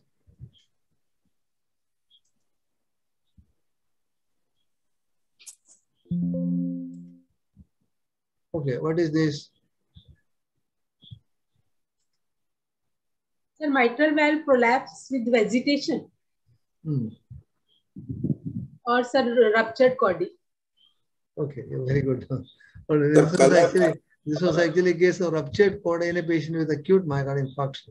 You can see actually It's uh, something is attached to the Anterior mitral reflective. antemitral anti- anterior mitral leaflet. You can see that and the patient has got um, mitral Severe regurgitation with a normal sized LV and also normal sized uh, LA, indicating that this is an acute mitral regurgitation. You can see the the the, the attached uh, fragment of the uh, ruptured, uh, uh, partially ruptured papillary muscle. Yes. Sir, the T we have to do no, sir, before confirmation. T has to be. The patient had acute myocardial infarction. On the first day, he did not have the, uh, there was nothing special. On the second day, suddenly deteriorated. So he was actually referred from another center. The patient was admitted in another center. On the first day, he was fine. On the second day, he suddenly developed acute pulmonary edema and was referred to our center. And when we did an echo, uh, uh, we found that there, this was the picture. Patient did not have any murmur at all. That's a usual pattern. In patients with acute uh, uh, uh, papillary muscle rupture and acute mitral regurgitation, there may not be any murmur. Whenever you are hearing a murmur, it is more likely to be VSD rather than uh, mitral acute mitral regurgitation. So whenever you are hearing a murmur, you consider papillary muscle the uh, ventricular septal rupture, and we are not hearing a murmur, and the patient developed acute pulmonary edema, and you are hearing you are seeing mitral regurgitation. Consider papillary muscle rupture. So this was a case of papillary muscle rupture in a patient with uh, acute myocardial infarction with acute mitral regurgitation. Okay, good, good, uh, Saroj, very good. You made it out very well. Okay, this is simple. There is no problem. Cardiac tamponade. Cardiac tamponade. Uh, what, are, what are the echocardiographic criteria of cardiac tamponade? Now I think uh, Saroj should keep quiet because I think uh, you should give opportunity for others also to uh, come into discussion. But this you can discuss.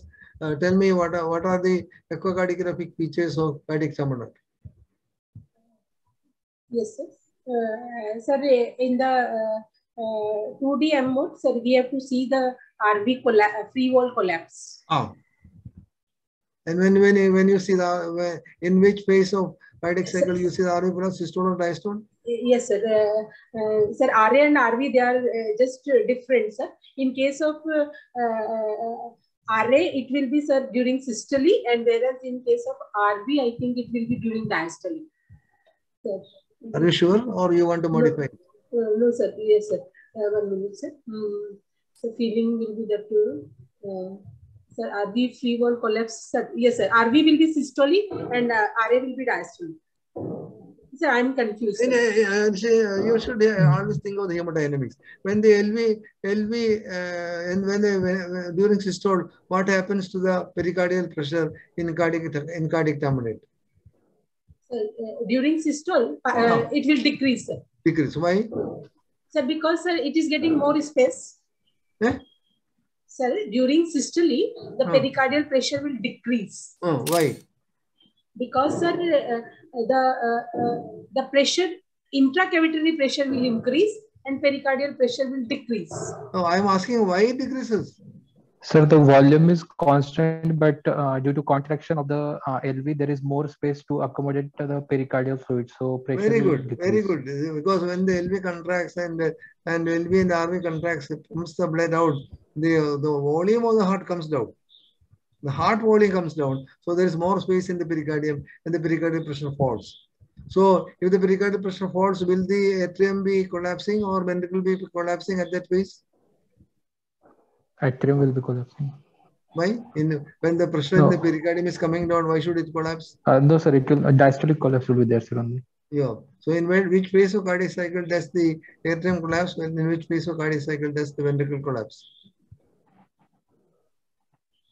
Sir, RV will, RV will collapse during diastole. Yes. LV R RA. Early diastole. RA, RA in sir systole. No, no.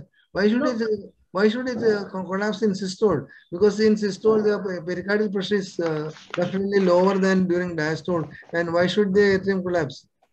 And what happens to the atrial pressure during systole? It increases. Decreases. Venous return increases and the pericardial pressure drops. So can you get a collapse during systole? Atrial collapse. No, sir. Because uh, see, in, uh, during systole, the pericardial pressure drops and the atrial pressure goes up. So can the atrium collapse? No, No, sir. sir. Atrium will collapse only during both ventricle and the atrium will collapse during diastole. But ventricle will collapse during early diastole, atrium will collapse in the Late diastole. late diastole. Why it is a late diastole?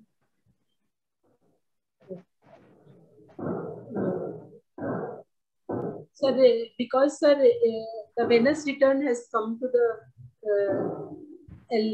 um, In late diastole, what happens to the Lead diastole, it will function as a conduit only, sir. Yeah. That's why No. Pressure will be low. The collapse sir. is depending upon the pressure pattern. So in late diastole, what happened to pericardial pressure? uh, it will increase, sir. It will increase. And what will happen to atrial pressure? It can even become come down because the blood is drained into the into the into the uh, ventricle. ventricle. So the atrial pressure can come down, especially when there is a, uh significant Y descent. And uh, uh, descent is not a feature of uh, uh, constrictive uh, the, uh, the pericardial effusion, but the pericardial pressure definitely will increase, and that will result in atrial collapse. Of these two findings, one early diast- uh, uh, RV collapse or late atrial collapse, which one is uh, more uh, uh, specific and more uh, sensitive? What which one has got more sensitivity and which one has got more specificity? The specificity is RV collapse. Okay. RA collapse? Sen- sensitive. Yes. RA collapse. more. RA collapse is uh, sensitivity is high for Yes. RA collapse and specificity is high for RV, RV collapse. collapse. Okay, very good. Excellent. Yes. Okay. So here these are all uh, the venous tracings. I will you, somebody should interpret uh, how will you make use of these uh, findings to uh, to make out the right atrial pressure. Four uh, tracings of different patients.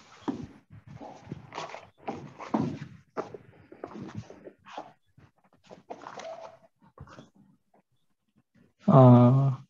Sir, if IVC diameter more than two point uh, more than two point one centimeter, Hmm.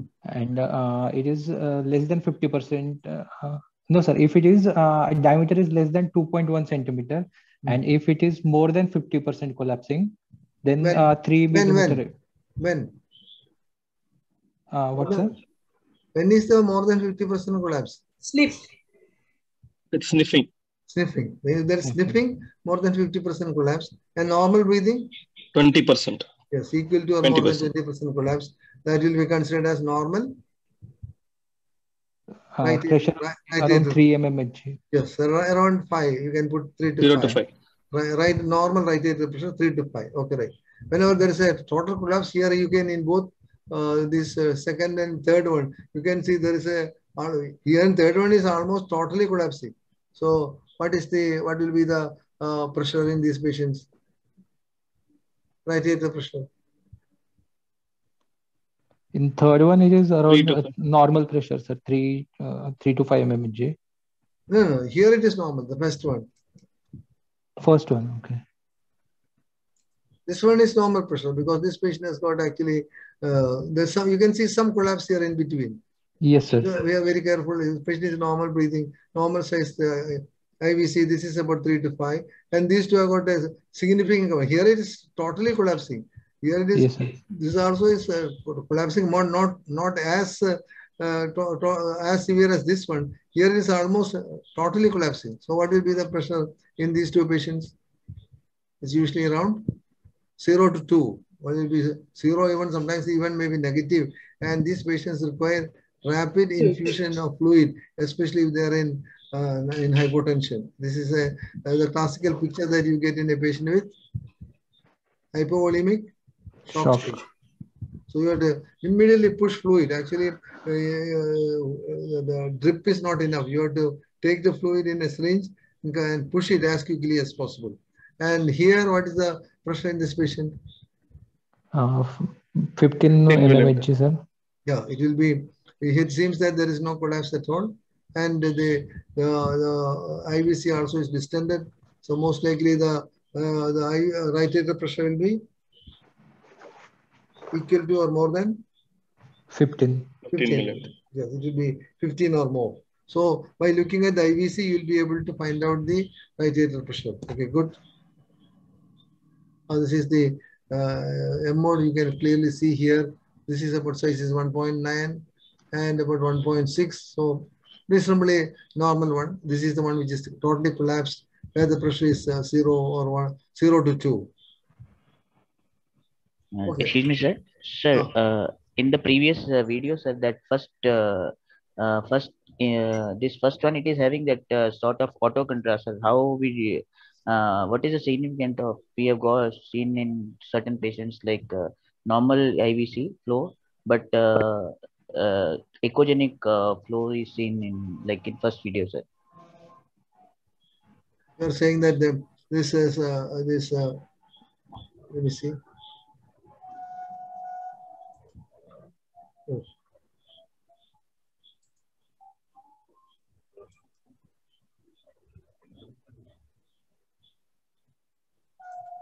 You are saying that, uh, oh, okay, let me see first of all.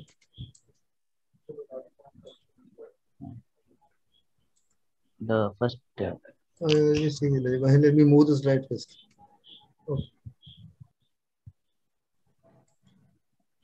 Okay, this one. yes, sir. That, Yes. that obviously usually means that there is some slowing of the circulation, but uh, uh, I may not give too much importance to that because uh, it usually indicates there is some slowing of the uh, flow, but uh, uh, in the in, in the cardiac chambers when you see this is a contrast, spontaneous contrast, that may su- suggest that there is a significant stagnation of blood and they are prone to develop thrombosis, but not uh, in IVC. IVC Okay, you, you need not give importance. Okay. Okay, Next thank you. one.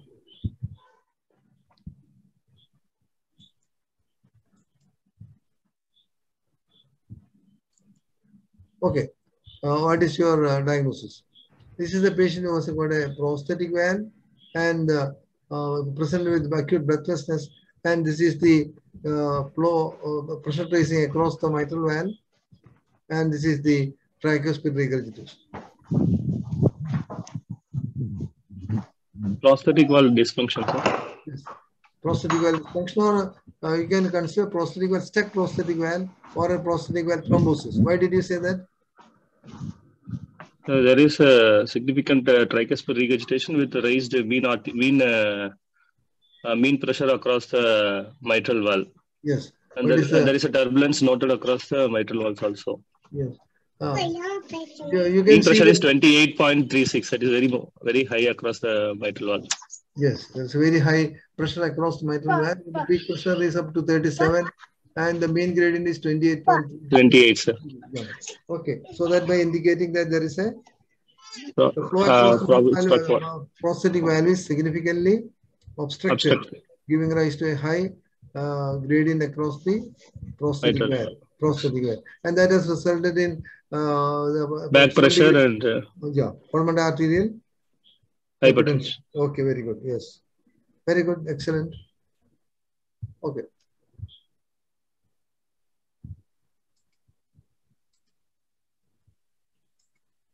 Okay, what is this?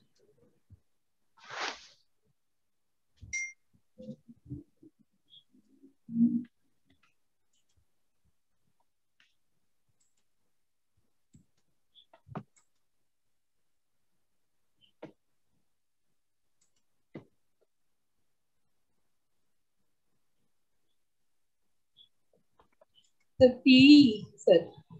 Uh, and sir, we can see the uh, lead, pacing lead, sir. Okay, uh, I agree And- with you. It's spacing leads. Okay. And What else is there?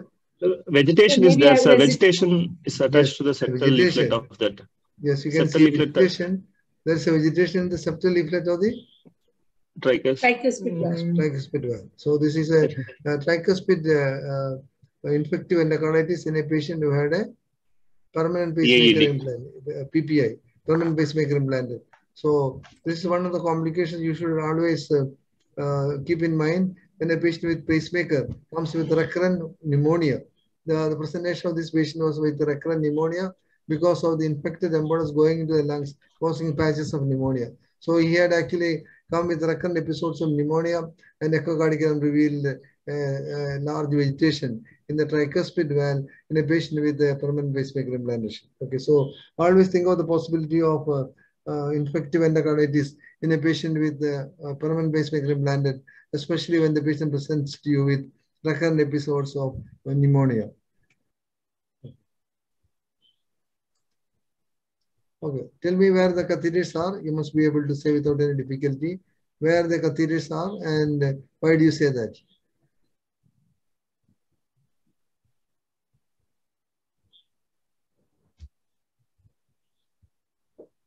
Which view is this? This is a, uh, which view is this? Is a LA view or RA view?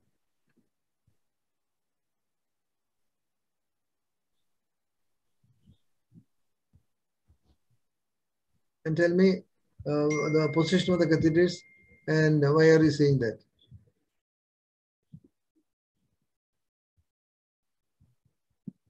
So this is RAO view. Okay, very good.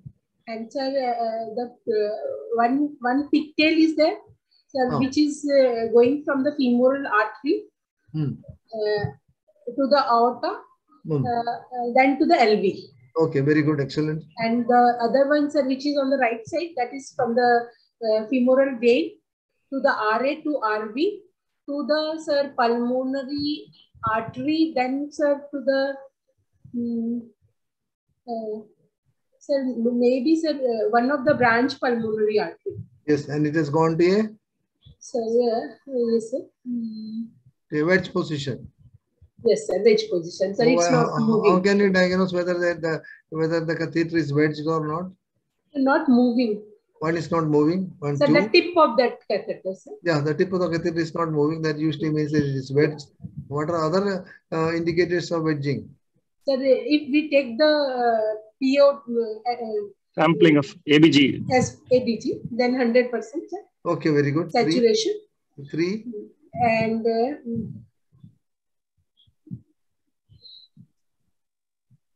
Third point. Waveforms. Waveform. Waveforms, Yes, yes. yes. What is the waveform? Left atrial waveform. Yes, the way, venous waveform. You will see a venous waveform in a patient when the catheter is wedged. Till the time it is wedged, it will be an arterial waveform. And once it is wedged, you will see a venous waveform. It's a change in the pattern of the waveform. And sometimes the respiratory variation also is an additional point. Uh, when the catheter is wedged, it will be influenced by the catheter, the respiratory variation of the pressure, while the arterial pressure tracing, which is there till the catheter is not wedged, will not have significant variation with respiration. So four points. One, catheter tip uh, remains fixed. One. Two, when you withdraw blood and look for oxy oximetry, 100% oxygen saturation. The three, the waveform changes from the arterial to venous pattern.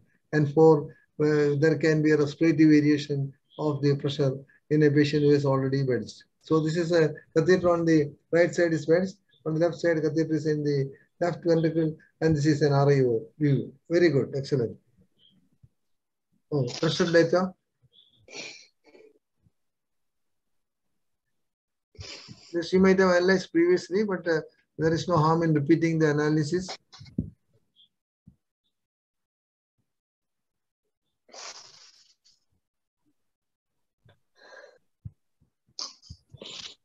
Uh, sir, Oh, uh, sir, HSVC is 60, sir. LSVC is 61. IVC is 64. Uh, RA is 61. RV is 62. Uh, pulmonary artery is uh, 70, sir. Uh, so there is a step up uh, here, sir, at the level of pulmonary artery. okay, very good. Uh, then pulmonary artery, which uh, is 99%. Uh, LV is 86%. So there is a step down here, sir. Okay, Uh, aorta is 85. okay. So there is a no step. Uh, There's a step. what- There is a step up at the level of the uh, pulmonary artery and step down artery. at the level of Uh, uh, LV. LV. Okay, right. Yes, good. Look at the pressure data, and then you correlate both these two. Uh, in pressure data, sir, uh, R is uh, uh, 8, uh, A wave 8, V wave 8, uh, mean is 6, sir. Hmm. This is almost a normal, sir. Okay. Uh, then RV pressure is 120 by 8. Uh, the RV is uh, RV inlet is 120 by 8, sir. Hmm. And RV outlet is uh, 40 by 8. Okay. So there is gradient between inlet and outlet, sir. Okay. Uh, then Uh, pulmonary uh, rather than inlet, is inflow and outflow. That's more uh, correct. inflow and yes, sir. Uh, inflow and outflow. Uh, what about uh, the RV systolic pressure uh, in the uh, outflow? Is it normal or elevated? Uh, it is on a higher, I mean, on uh, higher side, sir. It's on higher side. Okay, yes. Yes, sir. Uh, pulmonary arteries, uh, 40 by 20, sir. There is no gradient between outflow and uh, uh, pulmonary artery, sir. Okay. And uh, pulmonary mean pressure is 26, mildly elevated, sir. Okay, very good. Then uh, pulmonary wedge pressure, uh, 8 and uh, mean is 8, sir. Hmm. So that is also uh, almost normal, sir. Okay, very good. Uh, Excellent. Then LV is 120 by 8, sir. Uh, that is also normal. Okay. Uh, aorta is 120 by 70. That is also normal, sir. Okay. Yeah, be. Uh, if you want, you can say that pulse pressure is slightly increased, but I would agree with you that it's normal. Okay, yes. So your interpretation.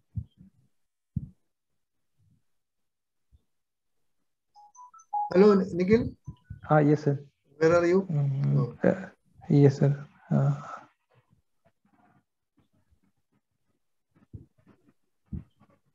there is a out outflow obstruction. Uh, just a minute, sir.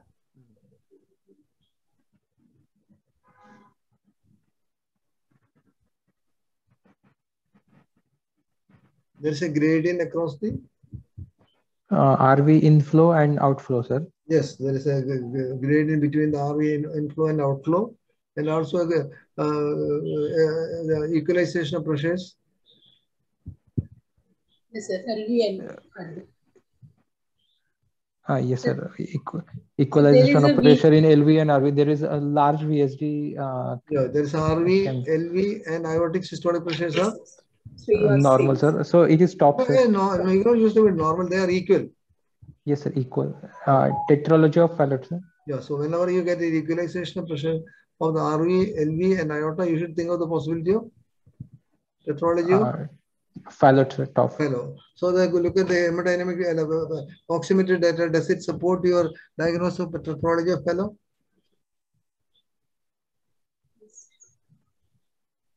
Uh, uh, yeah, yeah.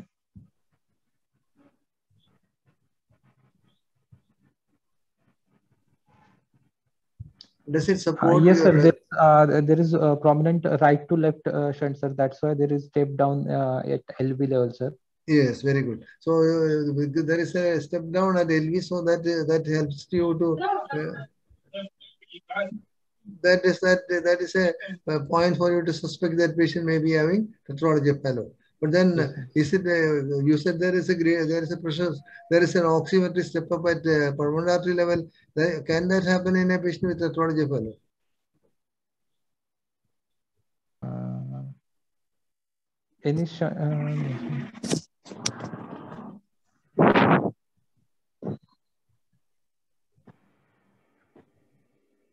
Sir, there is a shunt has been made, sir. Yeah, there is a sh- there is a Ah, shunt, com- there is shunt? shunt coming to the pulmonary artery, Oh, and it may be a man-made shunt. Okay. It could be a man-made shunt. Do you think it's a man-made shunt? And what type of a man-made shunt? Is it a, what are the different man-made shunt uh, that is being uh, usually carried out in a patient with tetralogy of Fallot? Name them. So BT shunt, VT shunt, then Potts shunt, Potts shunt, Waterston, uh, shunt, Patterson shunt, uh, then and Gore-Tex shunt. uh, Gore-Tex shunt. Yes. Of the, what is the difference between all these four? Uh, Among all So these four, what is the difference? so BT shunt may be classical BT shunt and uh, a modified BT shunt, sir. Okay. Uh, The in PT classical, shunt is uh, peripheral shunt, whereas the others are central shunts. Eh? What Uh, did sir, you the say? Potts shunt, Potts shunt is central, so between the aorta and the uh, uh, uh, LPA. Okay. Sir, uh, is- uh, Waterston and Potts are exposed to the uh, Waterston and shunts are not done not done nowadays because there is increased chance of uh, Yeah. uh, pulmonary vascular changes. It is Okay. directly exposed to the aortic pressure. Yes. Whereas in uh, modified blood, blood, modified BT shunt, uh, uh, the shunt flow is uh, predictable and there is a less chance for uh, damage to the peripheral pulmonary arteries. Okay. What is So the difference modify- between, what is the difference between modified uh, and BT shunt?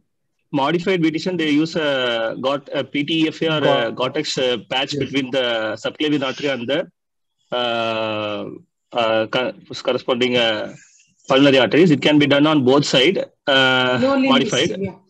Uh, there is no limb uh, ischemia. There is uh, no chance of limb ischemia on the si- side of uh, this thing, but there is a chance of increased uh, uh, seroma when compared to the uh, Blalock BT shunt. Yes. Um, a BT shunt is so the problem is that you have to sacrifice in the classical BT shunt uh, in the early life only can be done, sir. Otherwise, uh, there is decrease in the blood flow to that uh, limb can cause, Yes. sir. you you have to uh, you have to uh, ligate, extension. you have to divide the uh, It's a the end side anastomosis in Yes, an BT. en- It is end to side. side anastomosis. Yes, yes. Yes. BT shunt is end side anastomosis. It There is you a side to side. there, there you sacrifice the uh, subclavian artery, hoping that the collaterals will be enough to supply the uh, blood to the corresponding uh, upper limb. While in uh, modified BT shunt, which is a Gore-Tex shunt, or you can use any other material, where it is an end to, uh, uh, it is a side Side to to side, side. side to side anastomosis. Because of that, there is no need to sacrifice the artery, and nowadays it is that is the shunt that is being carried out. What is the indication for uh, this type of a shunt? Are we doing it na- nowadays or we don't do it? So the indication uh, where we, Size of in the emergency. pulmonary artery very small, then sir, we do it.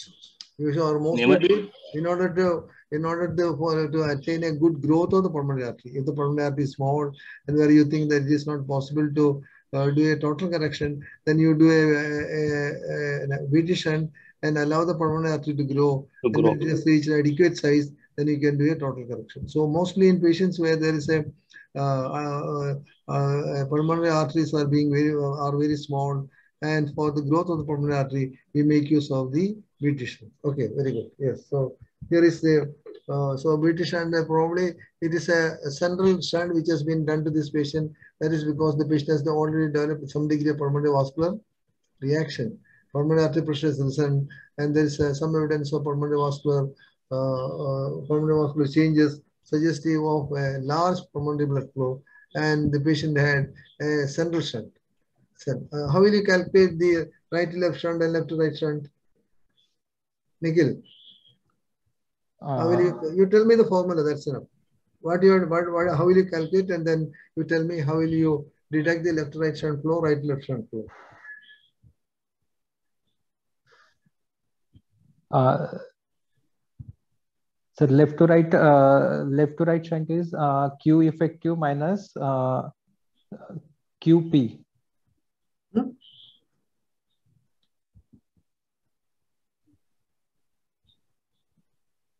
Can you Tell me once more. Uh, uh,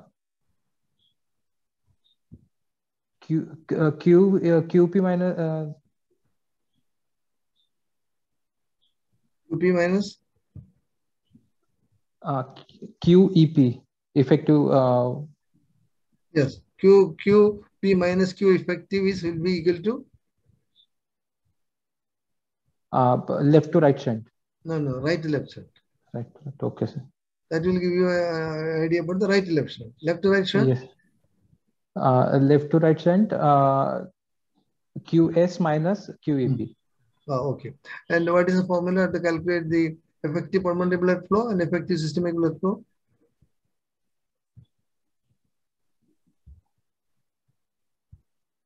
What is the formula? Uh,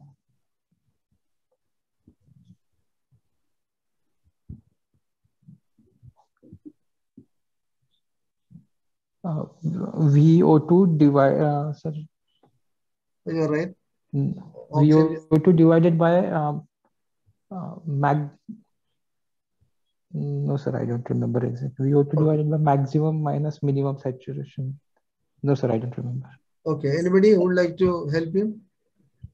VO2 divided by, sir, for Q effective, so we have to calculate, so Q effective first we calculate. Uh, sir, in in that one, sir, VO2 divided by, sir, uh, uh, sir, uh, uh, uh, PVO2 minus mixed venous, sir. okay, very good. Pulmonary venous oxygen saturation minus uh, Mixed mixed venous. venous, mixed venous oxygen saturation. The uh, oxygen consumption divided by systemic, uh, sorry, uh, pulmonary venous uh, oxygen saturation minus system mixed venous oxygen saturation. That's the formula to calculate the effective. uh, effective pulmonary blood flow, which is equal to the effective systemic blood flow. And uh, you can uh, calculate the uh, left to right shunt and right to left shunt using the standard formula. And from that you deduct and then you get the uh, standard right left shunt, standard left right shunt. Okay, good, right. This you might have already seen, but still you can see once more.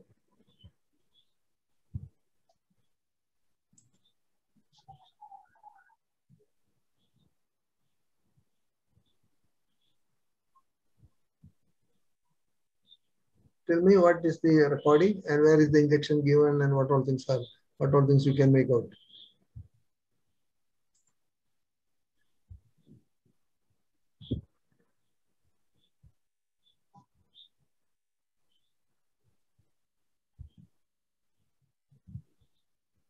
Where is the injection given?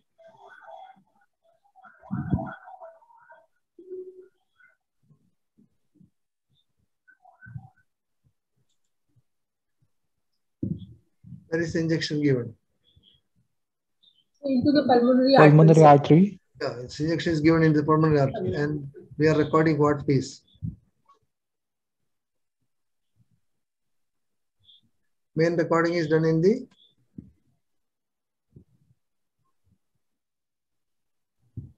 levophase. We are recording the levophase on the what is happening on the left side of the heart. So we are recording on the levophase and what are the things that you find here? Pulmonary AV fistula.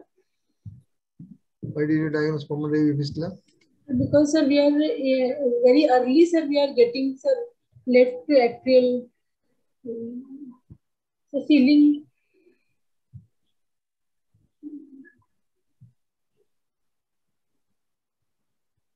Anybody who would like to have some other uh, some, some other thought process? It's a uh, injection in the pulmonary artery and you are recording the levophase. Tell me what you find.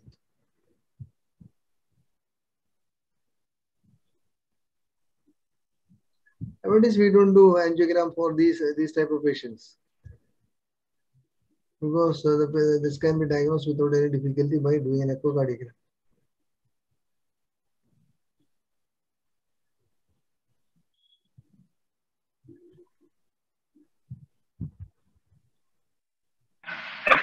Peripheral PS क्या sir? Peripheral PS. No, no, not a peripheral PS. See, uh, uh, see what do you find here. Initially, there is a injection into the pulmonary artery. Then, what do you find here?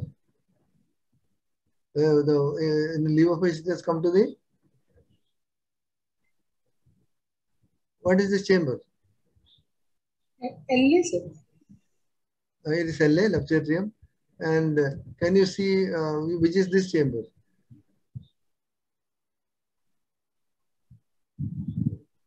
What is this chamber? That is a, which one is contracting very powerfully. That is a That is, uh, first one is RV, second one is LV, sir. no. This one is left atrium. This one is the LV, and in between you are seeing something. So if you are seeing, we are very careful. You can see three chambers actually. This is the atrium. Let us come to the middle chamber, and let's go to the left ventricle. So we are seeing three chambers. So what is the diagnosis? The triatriatum. cor triatriatum. It's a case of cor triatriatum where you can see the levophase where you're filling the the not exactly the left atrial part, the upper part of the left atrium, then the lower part and the left ventricle. So this is a case of cor triatriatum. Nowadays we don't do an angiogram for cor triatriatum because that can be easily diagnosed by echocardiogram alone without any difficulty. So this is a case of cor triatriatum where you can see three chambers in the levophase of the cardiac cycle where you have injected the contrast into the pulmonary artery. So contrast is injected pulmonary artery, has gone into the left atrium, into the uh, middle chamber, which is the lower part of the left atrium, and into the left ventricle. So this is a case of cor triatriatum. What is the management? Anybody?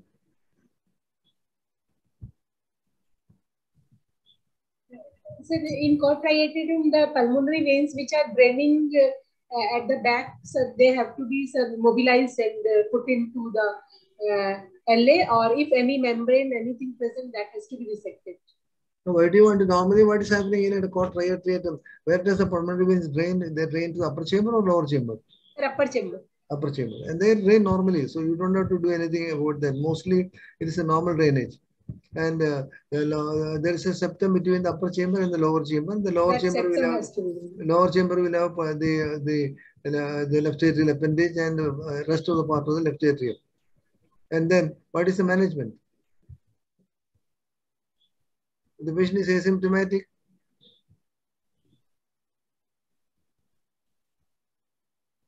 If the patient is asymptomatic, you can leave the patient and it can be followed up. But if the patient has got symptoms, you can do an intervention by means of which you can dilate the uh, the orifice between the, the so orifice in the septum between the upper and the lower uh, right left atrial chambers, and uh, that may be enough. But if the if, if it is not possible to do a uh, opening up of the septum, patient is uh, symptomatic, then you should recommend a surgical excision of the uh, the septum, uh, uh, of the membrane uh, in the left atrium. So the left atrial membrane can be first, uh, the opening in the left atrial membrane can be opened up by a balloon technique. But if that is not possible, then rarely you may require a surgical excision of the septum, of the membrane. So for triatriatum, most of the patients, they are not symptomatic. It can be left alone. And those patients who are having symptoms, they may require a interventional treatment or may require a surgical, rarely may require a surgical excision. I think we'll stop at that level. I think we have seen a good number of uh, spotters. Uh, any doubts about things that we have discussed today, you can ask now, otherwise we'll stop.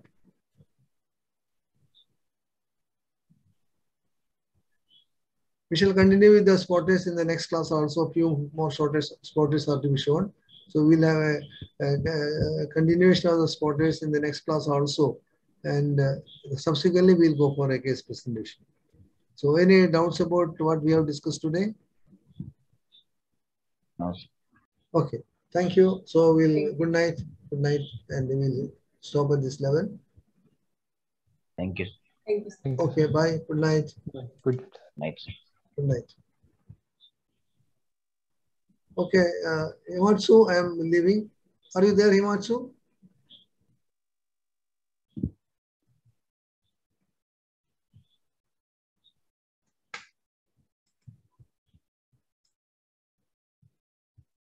So, sir, from here, I'm ending this.